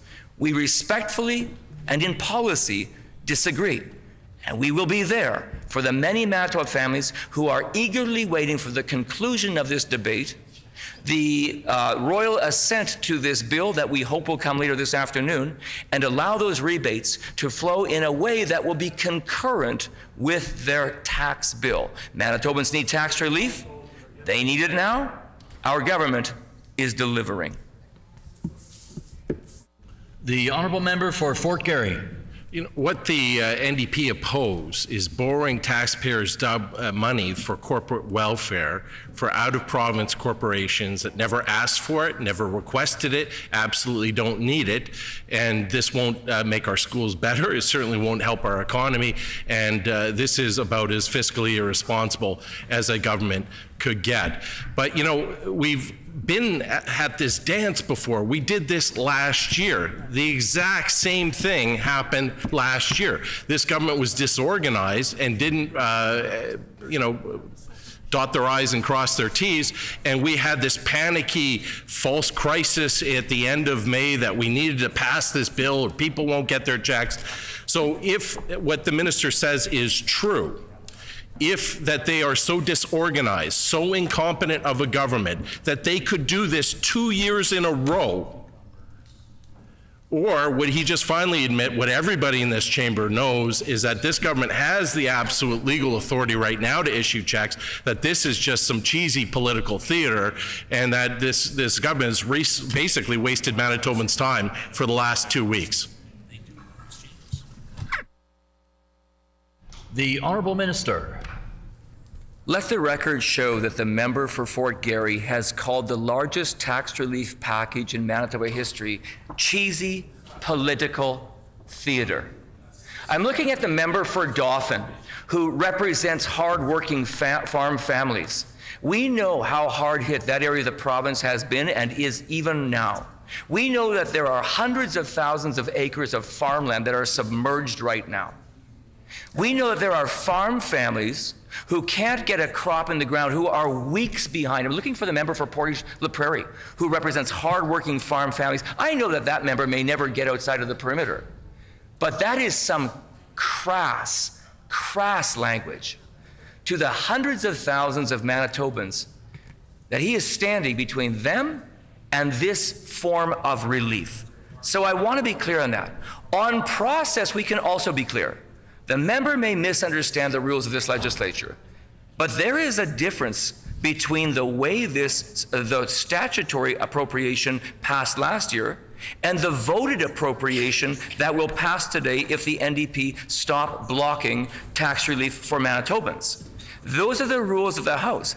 We believe as a government that the appropriate place to house debate uh, conventionally is in a voted appropriation. That is why this bill at this time uh, but I also want to be clear to that member uh, that, and I, am pleased that he brings up this issue, uh, that he talked about borrowing to give relief.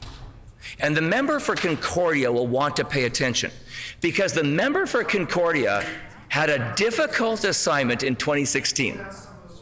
And, and he would be wise to not heckle me during this part because he'll like this. In 2016, I'll remind the House Order. that the member for Concordia was the critic for education after the NDP lost government. Now, here's what the NDP had done in 2016. They ran a billion dollar deficit, but it got better.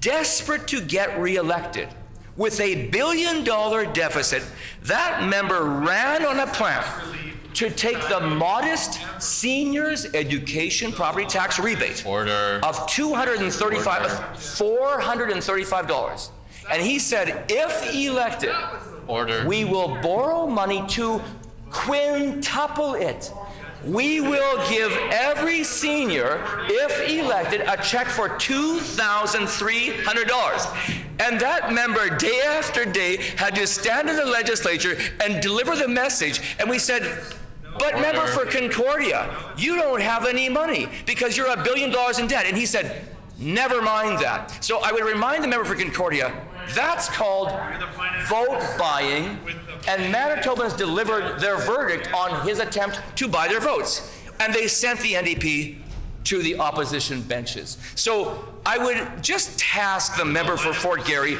if he wants to talk about borrowing to operate. I would love to table 17 budgets of the NDP and 17 volumes of the public account. Order, please. That showed that for every year except three. Order. There is heckling and there is chaos. What I'm hearing is chaos. I call all members to order. Quiet down. The Honorable Minister of Finance has the floor. Let him speak. You'll get your turn if you want to speak afterwards. The Honorable Minister of Finance. I seem to have an alacrity for producing a certain kind of reaction in the members of the opposition. I will, I will, I will endeavor to, uh, to incur a different response. I would just say let the member remember that uh, their government had a long path of borrowing to operate. It's why Standard & Poor's said about their budgets, continues to disappoint. Moody's said about their budgets, uh, same results as before. Uh, and I could read headlines uh, that indicated that both taxpayers, ratepayers, and rating agencies had lost patience with the NDP. Uh, our government has a demonstrable uh, uh, plan to eliminate the deficit. We've shown it in the budget. We eliminated the deficit last time, four years earlier than planned. We will do it again. I would remind the member that only earlier this week, Standard & Poor's just returned their A-plus rating on Manitoba's credit worthiness.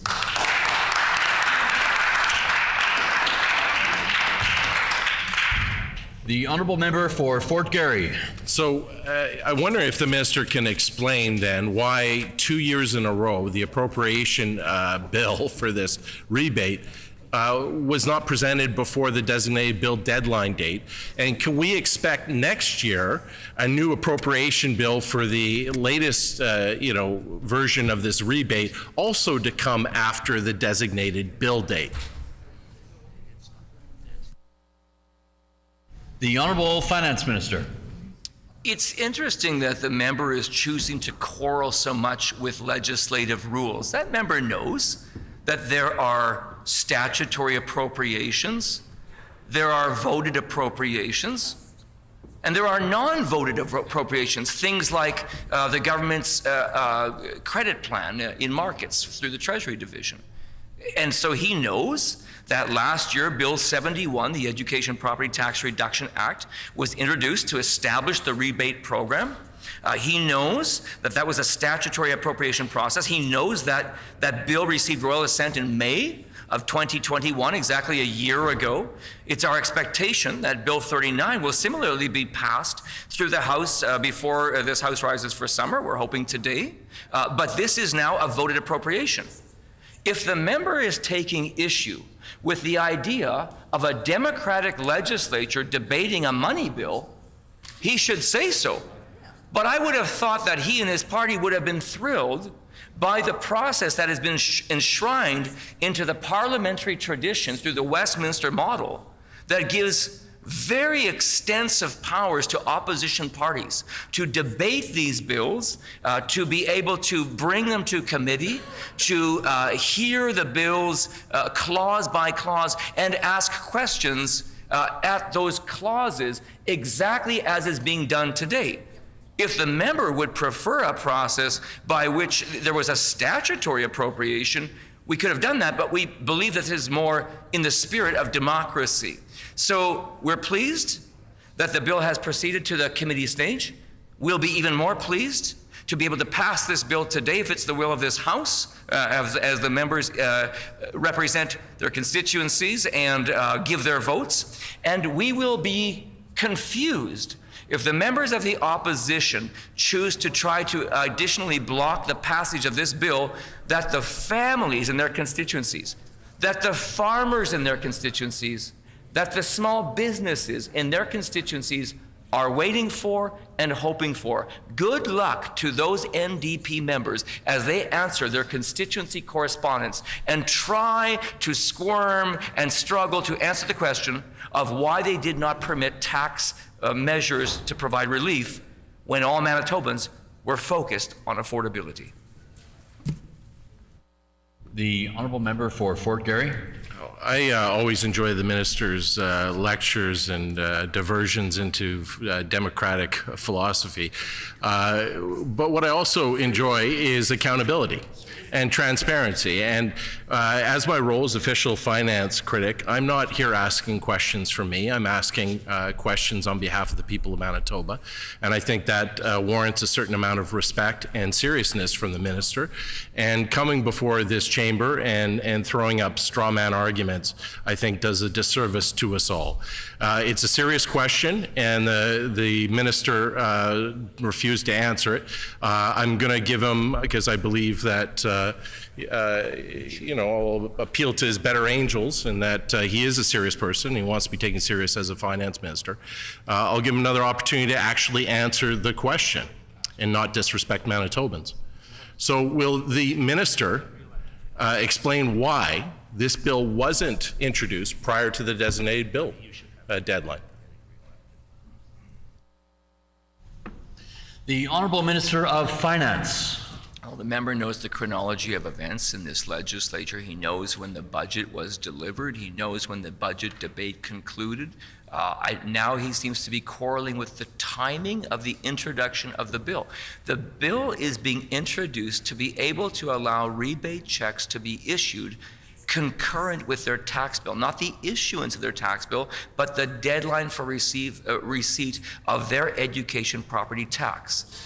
So I'm not exactly sure what issue the member thinks I'm avoiding answering, but essentially this bill is coming now because it correlates to the timing of the issuance of tax bills. I will also go further. The member did ask a question before. I think he was asking a question on why does the number in this bill not perfectly align with what would be considered the full cost of the rebate? That's a good question. It's because we will not require the entire authority for the payment of rebates Part of this we're anticipating when the bill does, when the budget passes and the government has then its proper authority for expenditure uh, expenditure authority for the year, we will be able to, according to some municipal tax years, be able to use that authority. So that's why the difference. And finally, to the a question the member asked earlier, he said, "Well, what about next year? What will be the treatment of this next year?" I would uh, I would just summarize for the member to say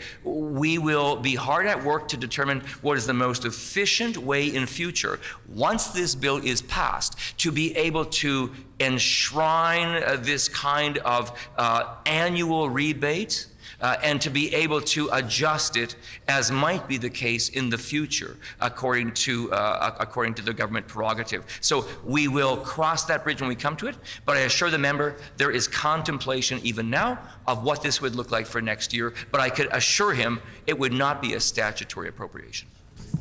The honourable member for Fort Garry. Wondering if the finance minister has a legal opinion stating he cannot issue education property rebate checks in June of this year without the passage of Bill 39. The Honourable Minister of Finance. Could the member repeat the question, please? The Honourable Member for Fort Garry. Gladly. Uh, does the finance minister have a legal opinion stating he cannot issue education property rebate checks in June of this year without the passage of this Bill 39? The Honourable Minister of Finance. Well, we are fortunate in the uh, province of Manitoba to have Legislative Counsel. Some of those uh, members of Le- uh, Leg Council join us here today in the chamber, uh, and we are thankful for their service. And when government has uh, questions and clarifications, we can go to a couple of places. We can go to Leg Council. We can also go uh, to the clerk, and the clerk of the legislature offers advice to the government and to opposition parties on the appropriateness of certain things. It, it tells us about process. It reminds us what the rules say. So that is exactly the process. Uh, oh, and of course, then uh, I would be remiss if I didn't state, and then also in our own departments, uh, ministers uh, have department officials who uh, know the rules and who work to understand the history uh, between the way appropriations have been voted, and they offer advice as well. So, to the member's question, I would say yes, the government has availed itself of the in house counsel and expertise that advises government. The member says, uh, Were we advised that we do not have authority to deliver the rebate without this bill? Yes, we do not have authority as a government with an interim appropriation at 75% because there is no reference in the interim appropriation to this rebate. The honourable member for Fort Garry. Well, I, am certainly, um, you know, heartened by uh, the minister's comments. So I, I, think it should be a very small thing for him to uh, now agree to an undertaking to formally table to this legislature uh, the legal uh, memorandum that gives him this opinion. The honourable minister of finance.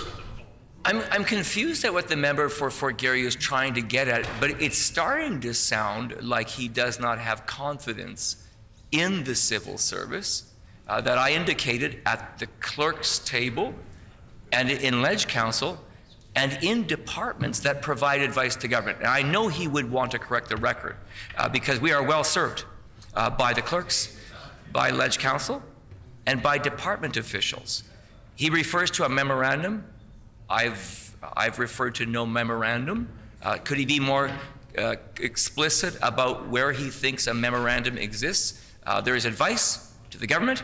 The advice, uh, the advice consists of this government does not have authority until the passage of the budget or the passage of specific legislation that would enact this money and action it for the ability for government to spend it out in the form of rebates to the 450,000 uh, households, small businesses, and farm families uh, who right now that member is blocking from receiving their property tax rebate. The honourable member for Fort Garry. Uh, well, being a, a, lawyer myself and having practiced 22 years, I can uh, tell the minister that should he ask the uh, government lawyers who are giving him advice to reduce their legal opinion into writing, they absolutely will do that and they will uh, submit it uh, to the legislature for scrutiny. And of course, any uh, independent legal advice that a lawyer gives, they will stand by it and they will reduce it to writing, and that is their professional duty. And the government just ne needs to ask. So, in the spirit of uh, accountability and transparency and, and to build trust in this exercise with the Manitoba people, because this government certainly doesn't have it, Will this minister undertake to get one of those formal legal opinions in writing and to submit it to this legislature? The Honourable Minister of Finance. Uh, thanks. I'm happy to answer the question. The, the member continues to seem to reflect on the capability of the civil service. So I just want to express our strong confidence in uh, legislative counsel at the legislature. I've had the privilege uh, as the justice minister and attorney general uh, to be able to work closely with legislative Counsel. I still recall my first deliberate uh, kind of interaction with Ledge Council face to face when I sponsored my first private members bill, a, a, pleasure and a privilege that many members in this chamber have had.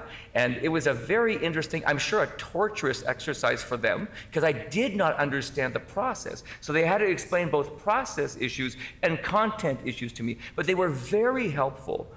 I benefited greatly from the process. That's the same kind of interaction that we've had now.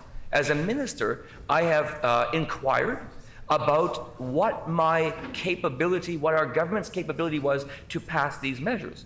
And I can assure that member that the advice from Legislative Counsel, and we developed this approach in concert with Legislative Counsel advice, was that it would take either the passage of the budget or the passage of explicit legislation to enable the rebate checks. So there is a workaround here.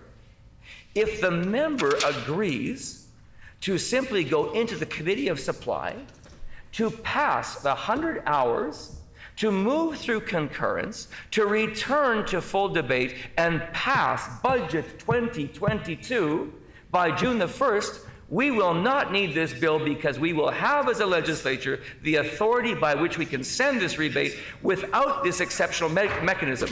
Why do we bring this mechanism?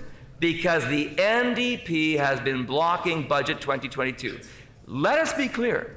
The NDP is making a decision today. They could be in the Committee of Supply. They could be holding three ministers, including the First Minister, accountable all afternoon. They are choosing to do this instead of returning to their work. Now, I won't give the NDP strategy on House because we've heard their strategy and it doesn't amount to much. But uh, be that as it may, they choose their strategy. The opposition parties have powerful tools to be able to direct the activities of this House. But the member is making a choice today, and his choice is to hold up tax relief and hold up passage of the bill. If the member wants to, we can pass the bill within weeks and perhaps sooner, and then we can have full authority. But I want to return to one thing that the member said. The member said, being a lawyer himself, being a lawyer himself, and indeed he is, and it triggered a memory for me. It triggered a memory that I think that the member may have been a little more than disingenuous with the House because he has been advancing a terribly torturous narrative over the last week that somehow the education property tax rebate for businesses is going to these large, large commercial landlords. And it strikes me that probably as a lawyer, he rents property. And it strikes me that the member probably rents commercial property. And the member may actually rent commercial property as a lawyer for his firm, a part of the uh, consortium or group with which he works. And I bet that that member last year received the education property tax rebate of 10% at his business place. And as I think about it further, I would think that the member would be able to correct the record and perhaps voluntarily submit his contract with his landlord that would show I believe that that member may be in possession of an education property tax rebate, but it does call into question his genuineness because he has argued that the landlord keeps the check. But wait, I say to the member for Concordia, but wait, there's more. He has argued that the landlord keeps the check, but he may know firsthand that he actually received the check. Will the member for Fort Garry today set the record straight and indicate whether he did indeed, as a tenant, receive the education property tax credit?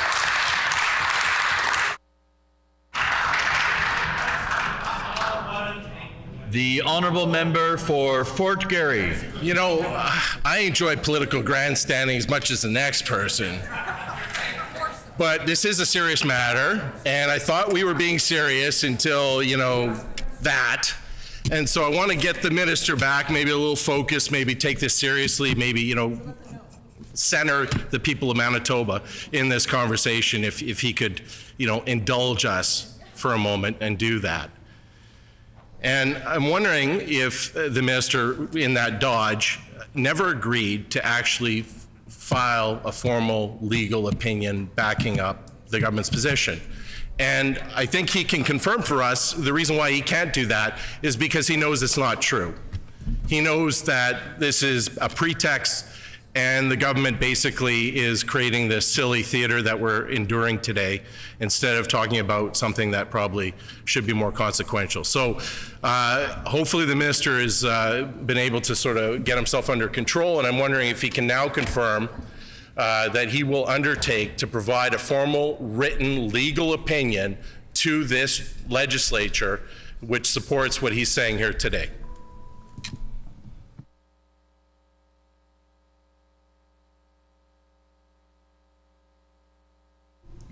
The Honourable Minister of Finance. Uh, first, I do want to insist uh, that these are genuine responses that I'm giving. The member is asking questions, and I'm endeavoring to the best of my ability to answer them. I've asked a fair question of him.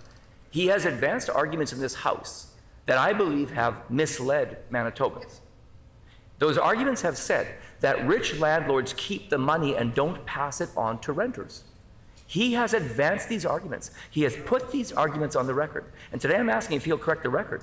If he has indeed as a renter in a commercial space, received a property tax rebate because he was renting last year for a commercial space that he and his uh, fellow lawyers in their firm received, then I would suggest he owes the legislature an explanation of that.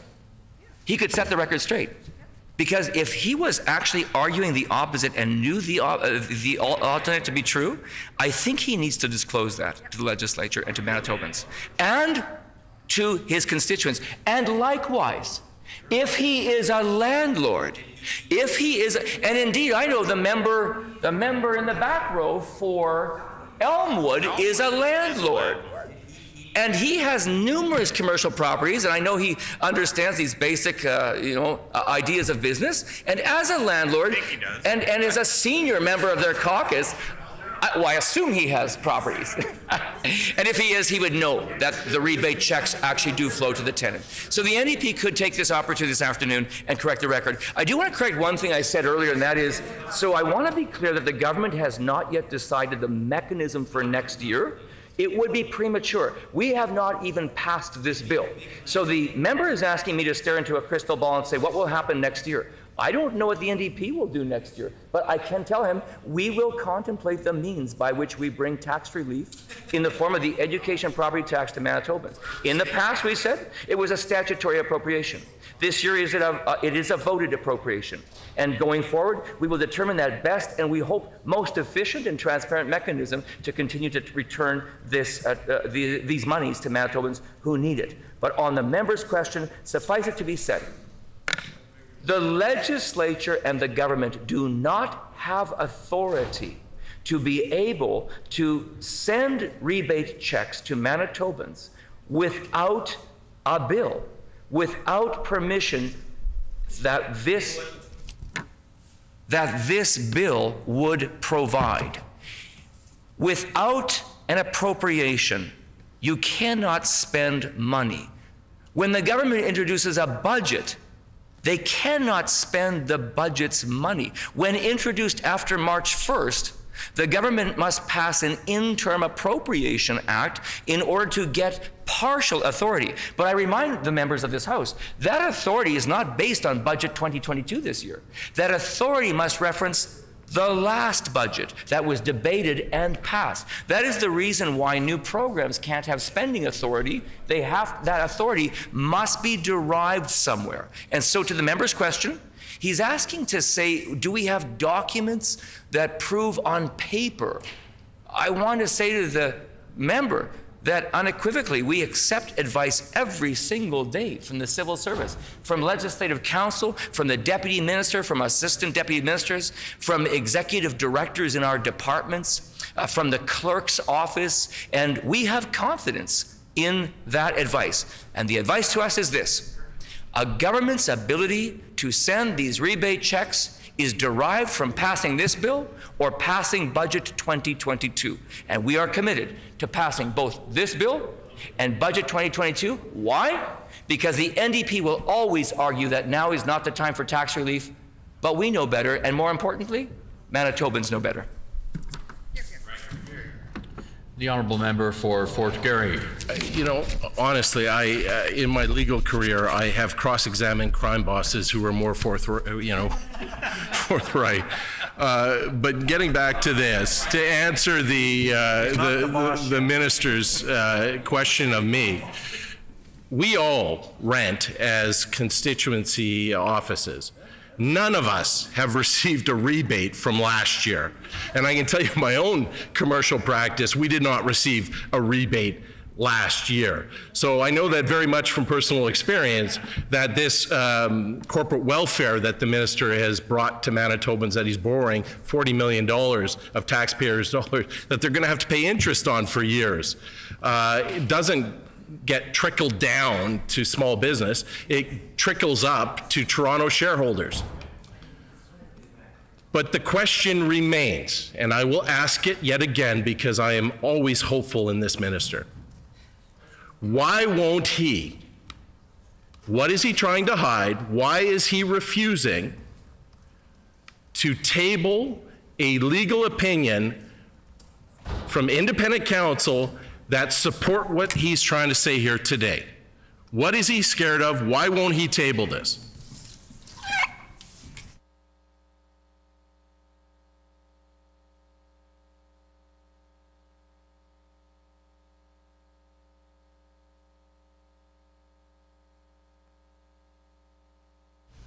The Honourable Minister of Finance. Um, I'm trying to think of the most efficient way to resolve this issue which is not an issue for the member for Fort Garry. He seems to lack confidence in the opinion that we've received from our senior civil servants, including Legislative Counsel and my Deputy Minister in the uh, Department of Finance. I would recommend to the member that he seek his own opinion. He could corroborate what I'm saying today by seeking an opinion. I would, I would direct him to the law officer of the House the law officer of the House could provide that member an opinion probably this afternoon, probably before 5 p.m. I know they're working hard, but probably it would not take much to get that member to the level of satisfaction that he seems to lack at this point. We, have, we, we issue no challenge with the advice that we have been given that the government needs authority to spend. I was a finance minister from 2016, 17, and 18. The government needs authority to spend. I was a finance critic in the opposition benches. I went to the Committee of Supply and faced off against the finance minister at the time during a process which was designed to test the estimates of expenditure. Oh, I faced off uh, against a lot of finance ministers because the NDP kept trading them out so often at the end there. They were kind of running out of them after a while.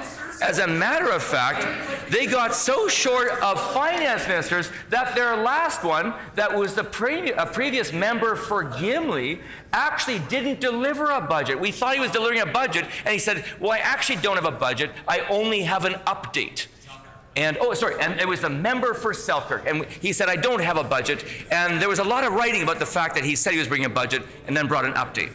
But I want to deal with one more issue because the member has invited it. I'm actually unsure how to debate with the member the concept of triple net.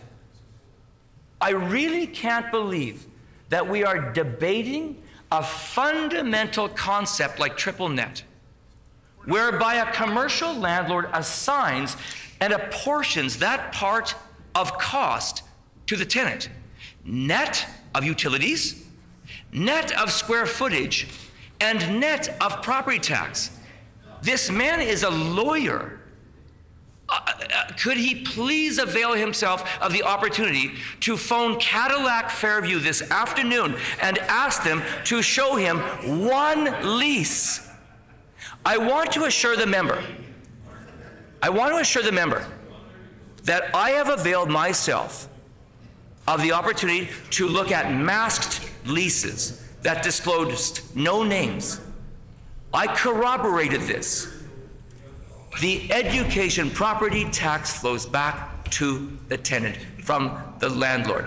I spoke to a senior executive at a commercial real estate firm in Winnipeg who said that when he heard what the leader of the opposition and the member for Garry said about the treatment of property tax by tenants in a large commercial space, he said, I almost spit my coffee out. It was so dumb. And that was a direct quote. It was a direct quote. It was a direct quote from a telephone conversation. I am unsure how I would table for the member of Concordia a direct quote from a telephone conversation, which I did not record. So, Order. I feel like it's it's it's tantamount to trying to argue that you shouldn't put fuel in the fuel tank of a car. So let the let the member continue to say that the rebate doesn't go somehow to the tenant when we have experts, including one who wrote to the Free Press and said the leader of the opposition is wrong, dot, dot, dot, again. And only five days ago completely refuted these straw man arguments that the NDP has been putting up for days. So, if faced with the conundrum of who we should believe, commercial experts in property tax and real estate, or the member for Fort Garry, I choose the experts.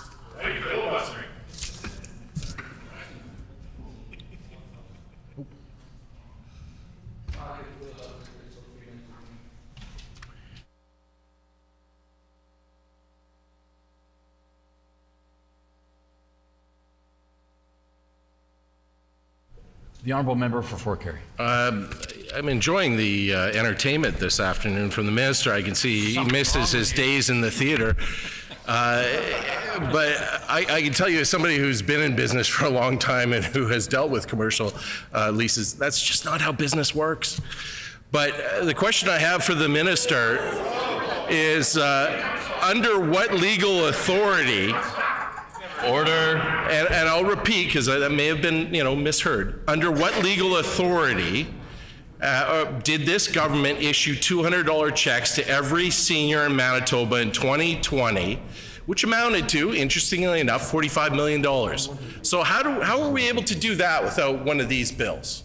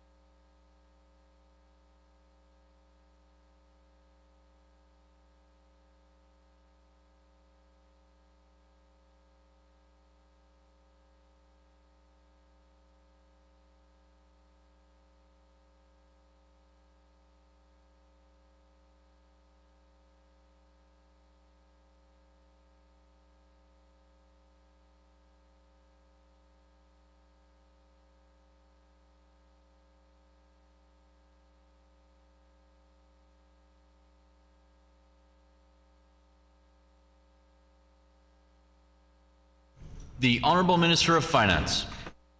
Nation to the member. He asks uh, on what authority did the government send relief to Manitoba families during COVID 19? And indeed, I would just want to preamble and say our government was very pleased to be among the most generous provinces in all of Canada, helping families, helping healthcare workers, helping employers and small businesses, uh, billions of dollars of relief to uh, individuals, families, households, and businesses. But the authority for that was derived in the internal service adjustment. That the government voted, and he saw in the appropriations uh, central amounts that were held centrally and not distributed to departments to be able to give governments maneuverability to respond and to be able to pay as things arose. And that is the purpose of ISA in part, to provide authority to spend uh, when there are exigent and arising circumstances. Now, the member's next question, I will actually be able to interpret already now. He's going to say, then why did you not use ISA to send the rebate checks. Tell me if I'm getting warm. And I would say to the member, the reason we don't is because this tax relief package is in the estimates of expenditure. On that day in April, when we delivered the budget, we conveyed to Manitobans our government's plan to provide tax relief. And that tax relief stated in the budget and in the estimates of, uh, of, expenditure now needs authority to be able to action. That authority could come if the NDP support budget 2022. Indeed, if the NDP uh, gives commitments today through their House leaders that they will uh, pass the budget uh, by June the 1st, uh, we won't require this bill at all. But short of those assurances, we do require in this legislature. Just ask for the leader of the opposition's attention to finish the answer. We do require we do require authority to pass these tax measures, authority that we are seeking in Bill 39, a bill that we hope will pass at the Manitoba Legislature later this afternoon.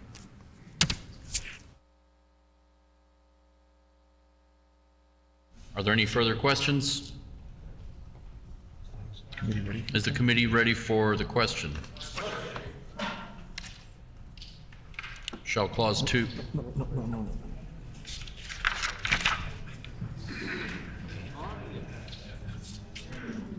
no. that's similar to this. The question.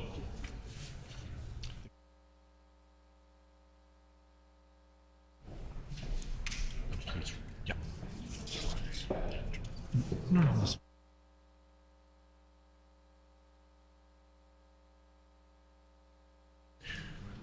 The question before the committee is the amendment moved by the honourable member for Fort Garry. To clause two. To clause two. Shall the amendment pass? All those in favor of pass order.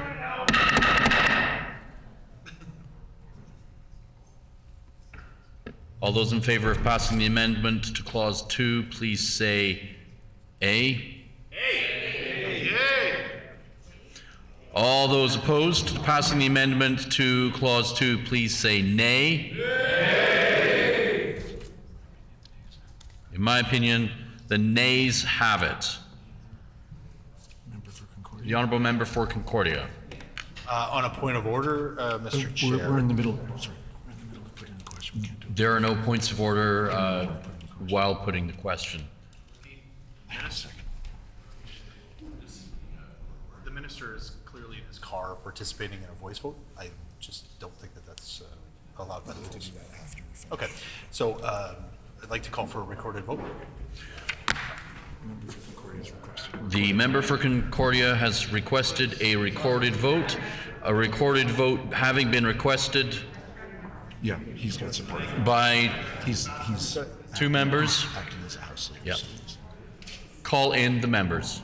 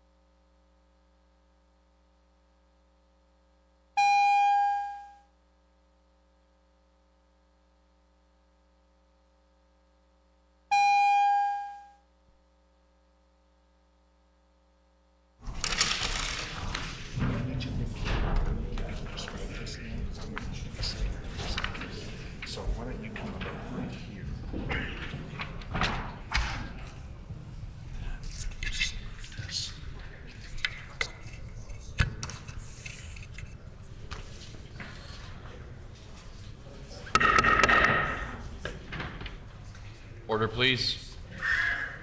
The question before the committee is the amendment to Clause 2 moved by the honourable member for Fort Garry. All those in favour of the motion, please rise.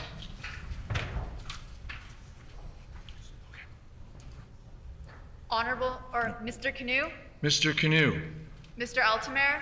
Mr. Altemeyer, Mr. Wiebe, Mr. Wiebe, MLA Asagwara, MLA Asagwara, Mrs. Smith Point Douglas, Mrs. Smith Point Douglas, Mr. Wasyliw, Mr. Wasyliw, MLA Lindsey, MLA Lindsey, Mr. Sala, Mr. Sala, MLA Marcelino, MLA Marcelino, Ms. Naylor, Ms. Naylor, Mr. Lamont, Mr. Lamont, Ms. Lamoureux, Ms. Lamoureux, Mr. Maloway, Mr. Maloway, Mr. Brar, Mr. Brar, Mr. Bushie, Mr. Bushie, Mr. Moses, Mr. Moses, Honorable Mr. Gerrard. Honorable Mr. Gerrard.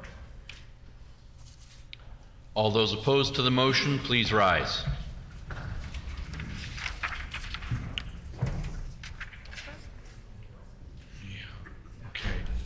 Go ahead.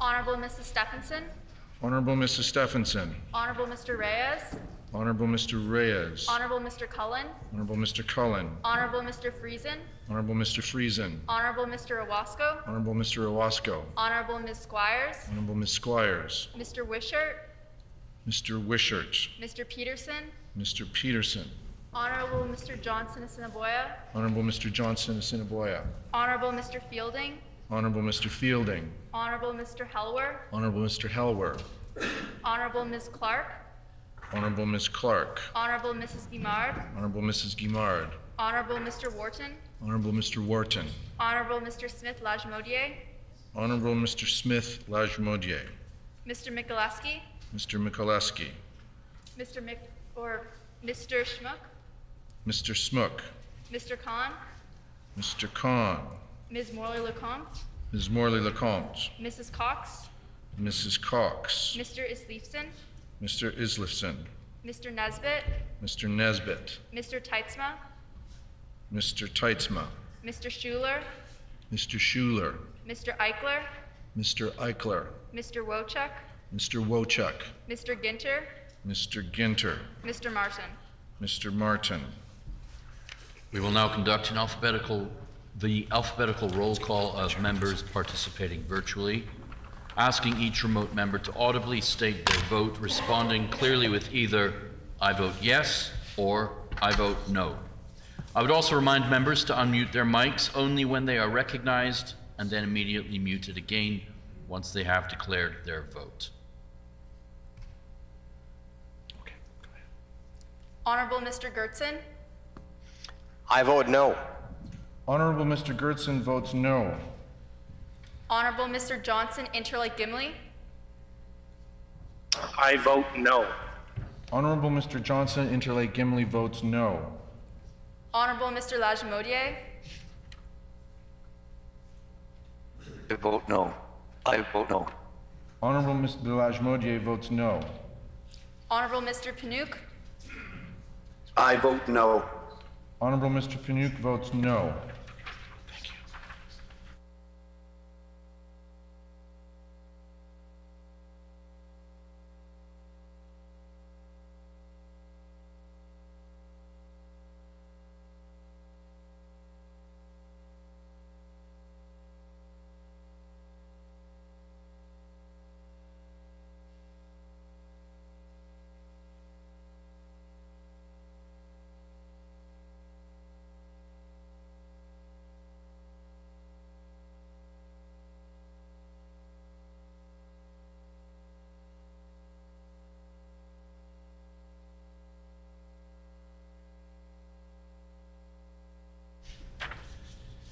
Yeas 17, nays 32. The amendment is accordingly defeated. Shall Clause 2 pass? Clause 2 is accordingly passed. Shall Clause 3 pass? Clause 3 is accordingly passed. Shall the enacting clause pass? The enacting clause is accordingly passed. Shall the title pass? The title is accordingly passed. Shall the bill be reported? Agreed. The bill shall be reported. That concludes the business before the committee. Committee rise, call in the speaker.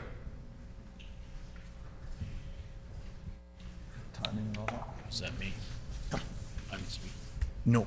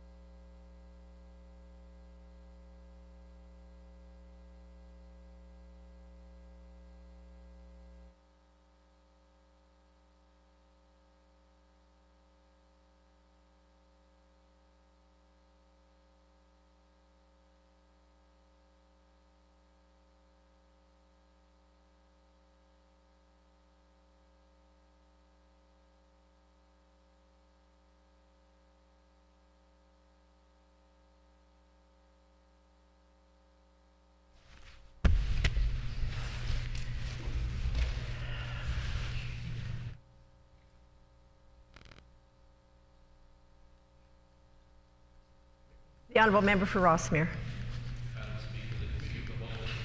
39, the Appropriation Act 2022 School Tax Rebate, and reports the same without amendment. I move, seconded by the Honourable Member for Fort Whyte, that the report of the committee be received.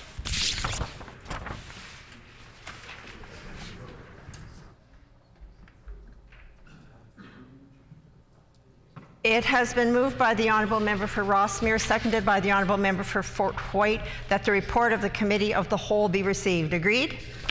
Agreed and so ordered. The Honourable Minister of Finance. Madam Speaker, I move, seconded by the Minister for Natural Resources and Northern Development, that Bill number 39, the Appropriation Act 2022 School Tax Rebate, reported from the Committee of the Whole, be concurred in and be now read for a third time and passed. Good job.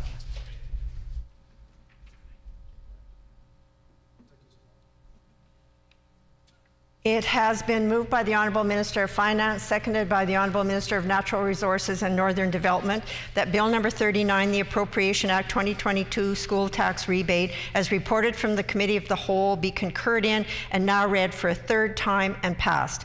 Is it the pleasure of the House to adopt the motion? Agreed?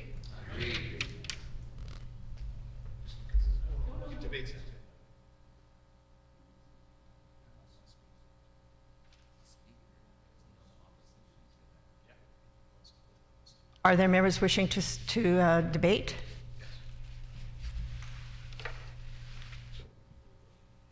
The floor is open for debate. Does the Honourable Minister have a, some comments? Madam Speaker?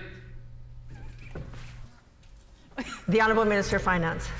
Madam Speaker, our government is, is uh, pleased uh, that Bill 39, our government's uh, tax relief plan for Manitobans, has proceeded to third reading. We are looking forward to third reading and passage of this bill this afternoon at the Manitoba Legislature to provide Manitobans uh, the right tax relief at this point in time when Manitobans indeed are focused on affordability. Here.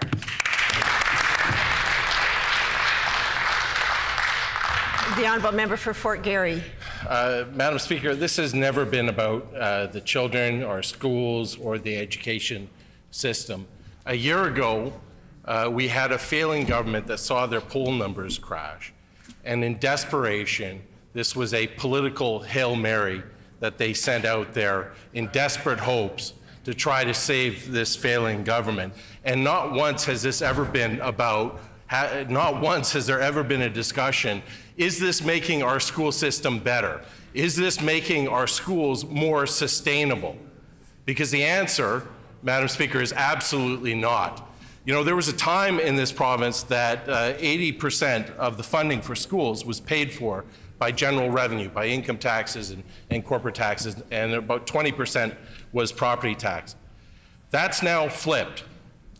And when this government took office, uh, there was a 60% provided by the province and about 40% in property taxes. Under their watch, that has gotten worse. And property taxes now account for almost, uh, you know, 58% of the revenue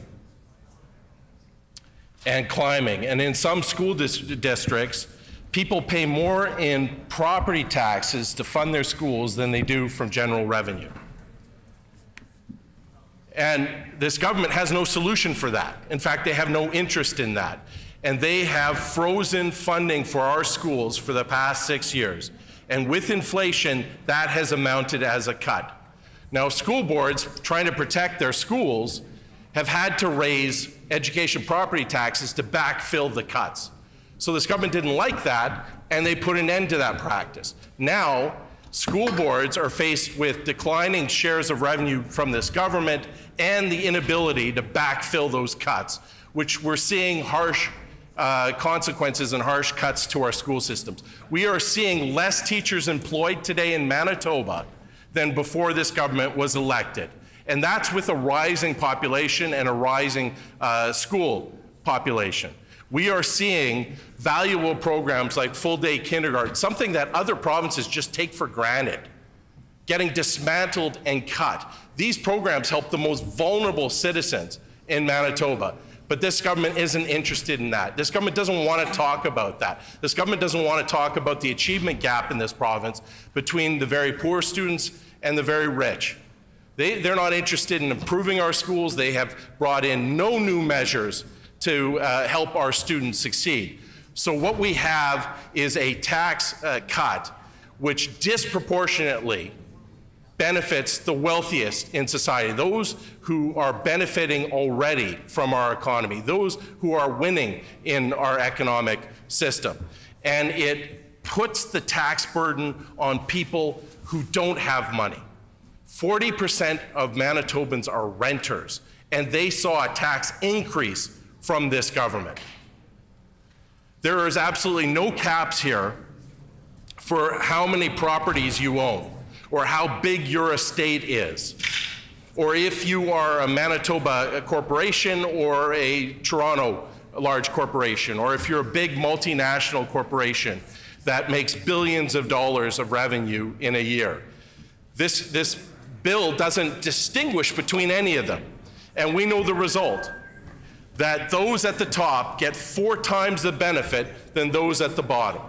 So it is absolutely disingenuous for this government to say that this is somehow making life more affordable. It is doing the opposite. Because the cuts to schools mean that parents are more out of pocket for all kinds of new school fees they never had to pay. It means that renters and working people have to bear a larger burden of the tax system than they have ever before. And it means that we are borrowing money so corporations like Apple and Cadillac Fairview can get a tax break.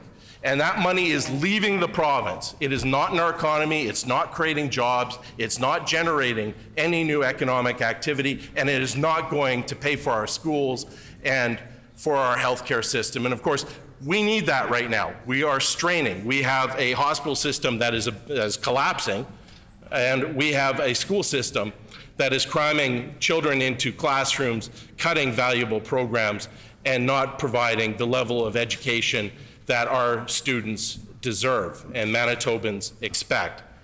And this government could have made this a little better.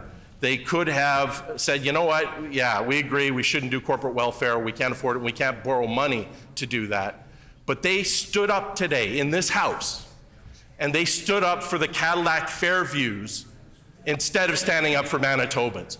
This government cannot go door to door and look Manitobans in the eye and say that they fought for them. In fact, they're going to say, we fought against you. But with our vote today and on this side of the House, we can hold our heads up high, knowing that we are on the right side of this issue and that we will always be there for Manitobans and that we will fight for the actual affordability of Manitobans. Thank you.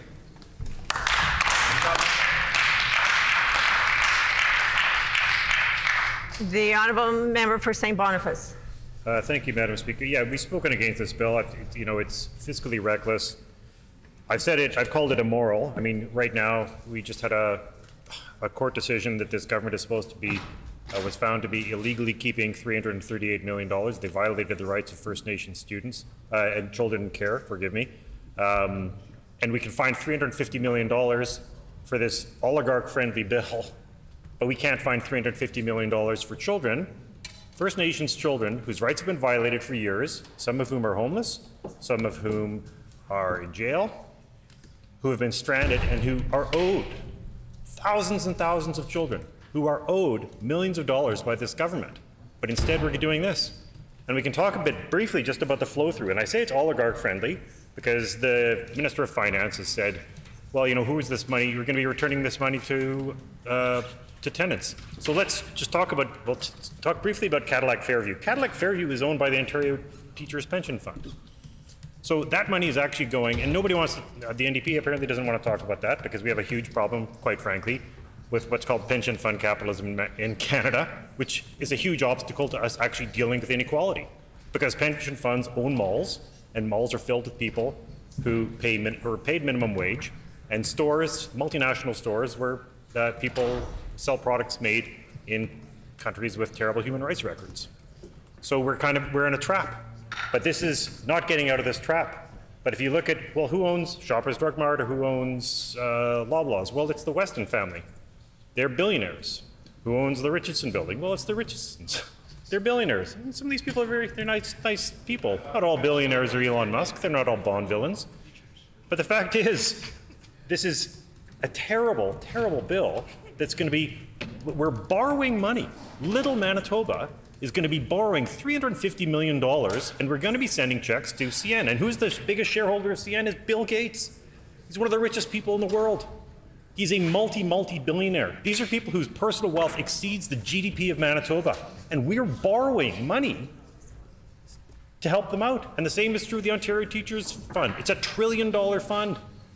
It makes 10% year over year over year. And the reason it does that is because it depends on owning all sorts of stuff that's been privatized all over the world, including land in Manitoba. So this is a terrible, terrible bill. There's nothing fiscally responsible about it. There's nothing fiscally conservative about it. Because what this government is doing is borrowing. We are borrowing to subsidize tax cuts. We are borrowing money to write checks to some of the wealthiest people on the planet. How does that make sense? Especially given the news that this government violated the constitutional rights of thousands and thousands of First Nations children who are the most vulnerable and poorest people in this province. And we know that they've been suffering for years and for decades. This is an immoral bill. It shouldn't pass. Thank you. There any further debate on this bill? Is the House ready for the question?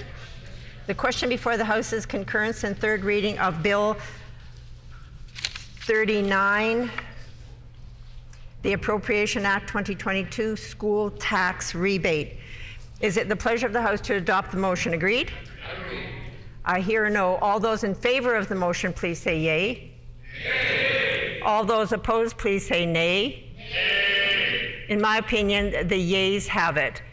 Uh, the honourable member for Concordia. Recorded vote, Madam Speaker. A recorded vote having been called, call in the members.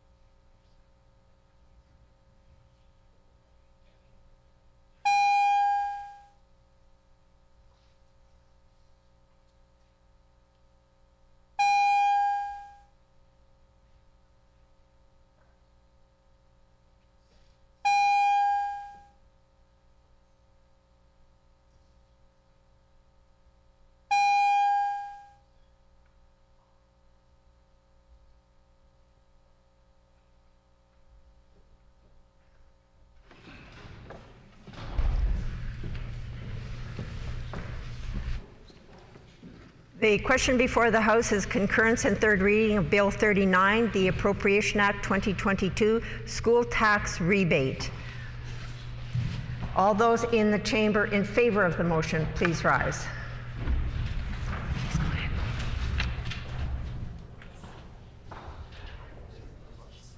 Honorable Mrs. Stefanson. Honorable Mrs. Stefanson. Honorable Mr. Reyes. Honorable Mr. Reyes. Honorable Mr. Cullen. Honorable Mr. Cullen. Honorable Mr. Friesen. Honorable Mr. Friesen. Honorable Mr. Ewasko. Honorable Mr. Ewasko. Honorable Ms. Squires. Honorable Ms. Squires. Mr. Wishart. Mr. Wishart. Mr. Pedersen. Mr. Pedersen. Honorable Mr. Johnston Assiniboia. Honorable Mr. Johnston Assiniboia. Honorable Mr. Fielding. Honorable Mr. Fielding. Honorable Mr. Helwer. Honorable Mr. Helwer. Honorable Ms. Clarke. Honorable Ms. Clarke. Honorable Mrs. Guillemard. Honorable Mrs. Guillemard. Honorable Mr. Wharton. Honorable Mr. Wharton. Honorable Mr. Smith Lagimodière. Honorable Mr. Smith Lagimodière. Mr. Michaleski. Mr. Michaleski. Mr. Micklefield. Mr. Micklefield. Mr. Smook. Mr. Smook. Mr. Khan. Mr. Khan. Ms. Morley Lecomte. Ms. Morley Lecomte. Mrs. Cox. Mrs. Cox. Mr. Isleifson. Mr. Isleifson. Mr. Nesbitt. Mr. Nesbitt. Mr. Teitsma. Mr. Teitsma. Mr. Schuler. Mr. Schuler. Mr. Eichler. Mr. Eichler. Mr. Wowchuk. Mr. Wowchuk. Mr. Guenter. Mr. Guenter. Mr. Martin. Mr. Martin. All those in the chamber opposed to the motion, please rise. Please Mr. Kinew. Mr. Kinew. Mr. Altemeyer. Mr. Altemeyer. Mr. Wiebe.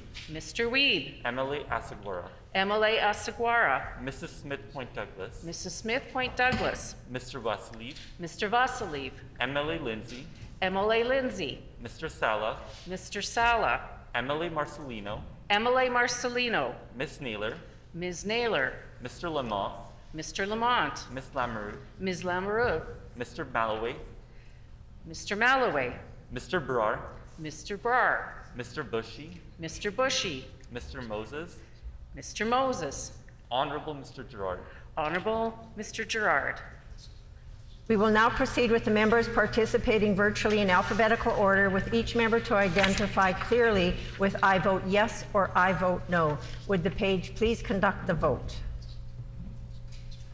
Honorable Mr. Goertzen. I vote yes. Honorable Mr. Goertzen votes yes. Honorable Mr. Johnson Interlake Gimli. I vote yes. Honorable Mr. Johnson Interlake Gimli votes yes. Honorable Mr. Lagimodière. I vote yes. Honorable Mr. Lagimodière votes yes. Honorable Mr. Piwniuk. I vote yes. Honorable Mr. Piwniuk votes yes. Good job.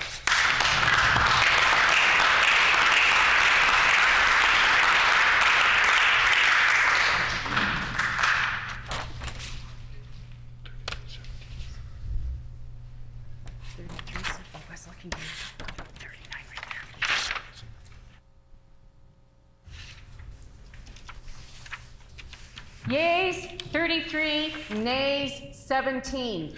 The motion is accordingly passed. The House will now prepare for royal assent.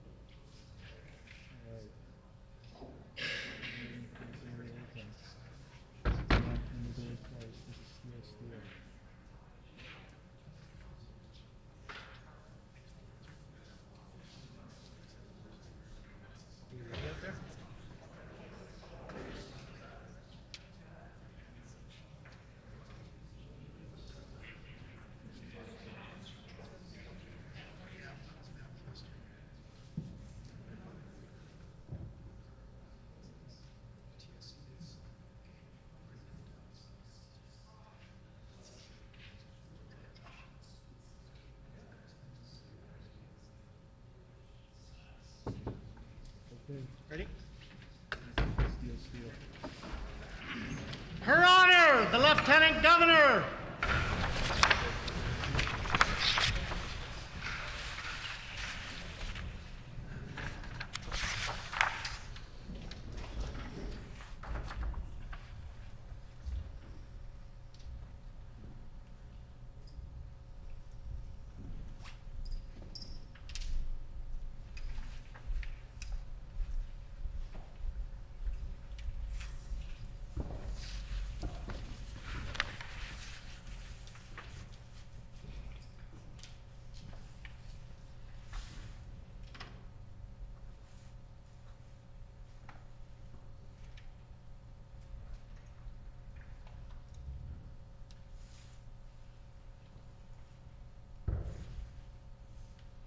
Your Honor, at this sitting, the Legislative Assembly has passed a certain bill that I ask Your Honor to give assent to.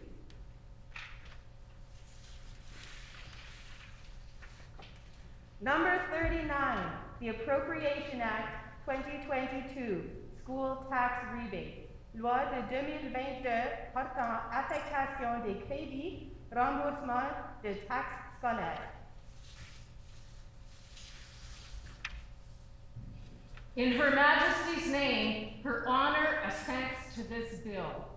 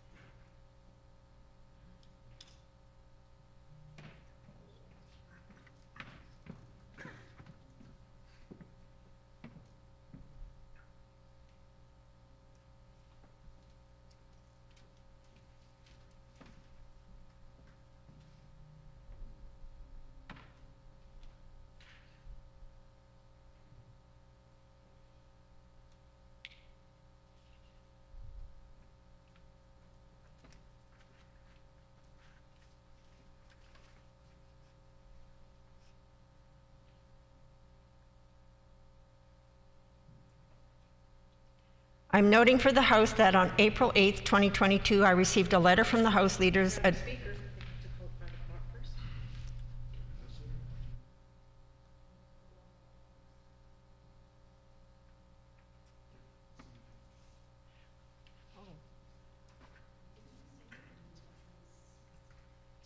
The House may be seated.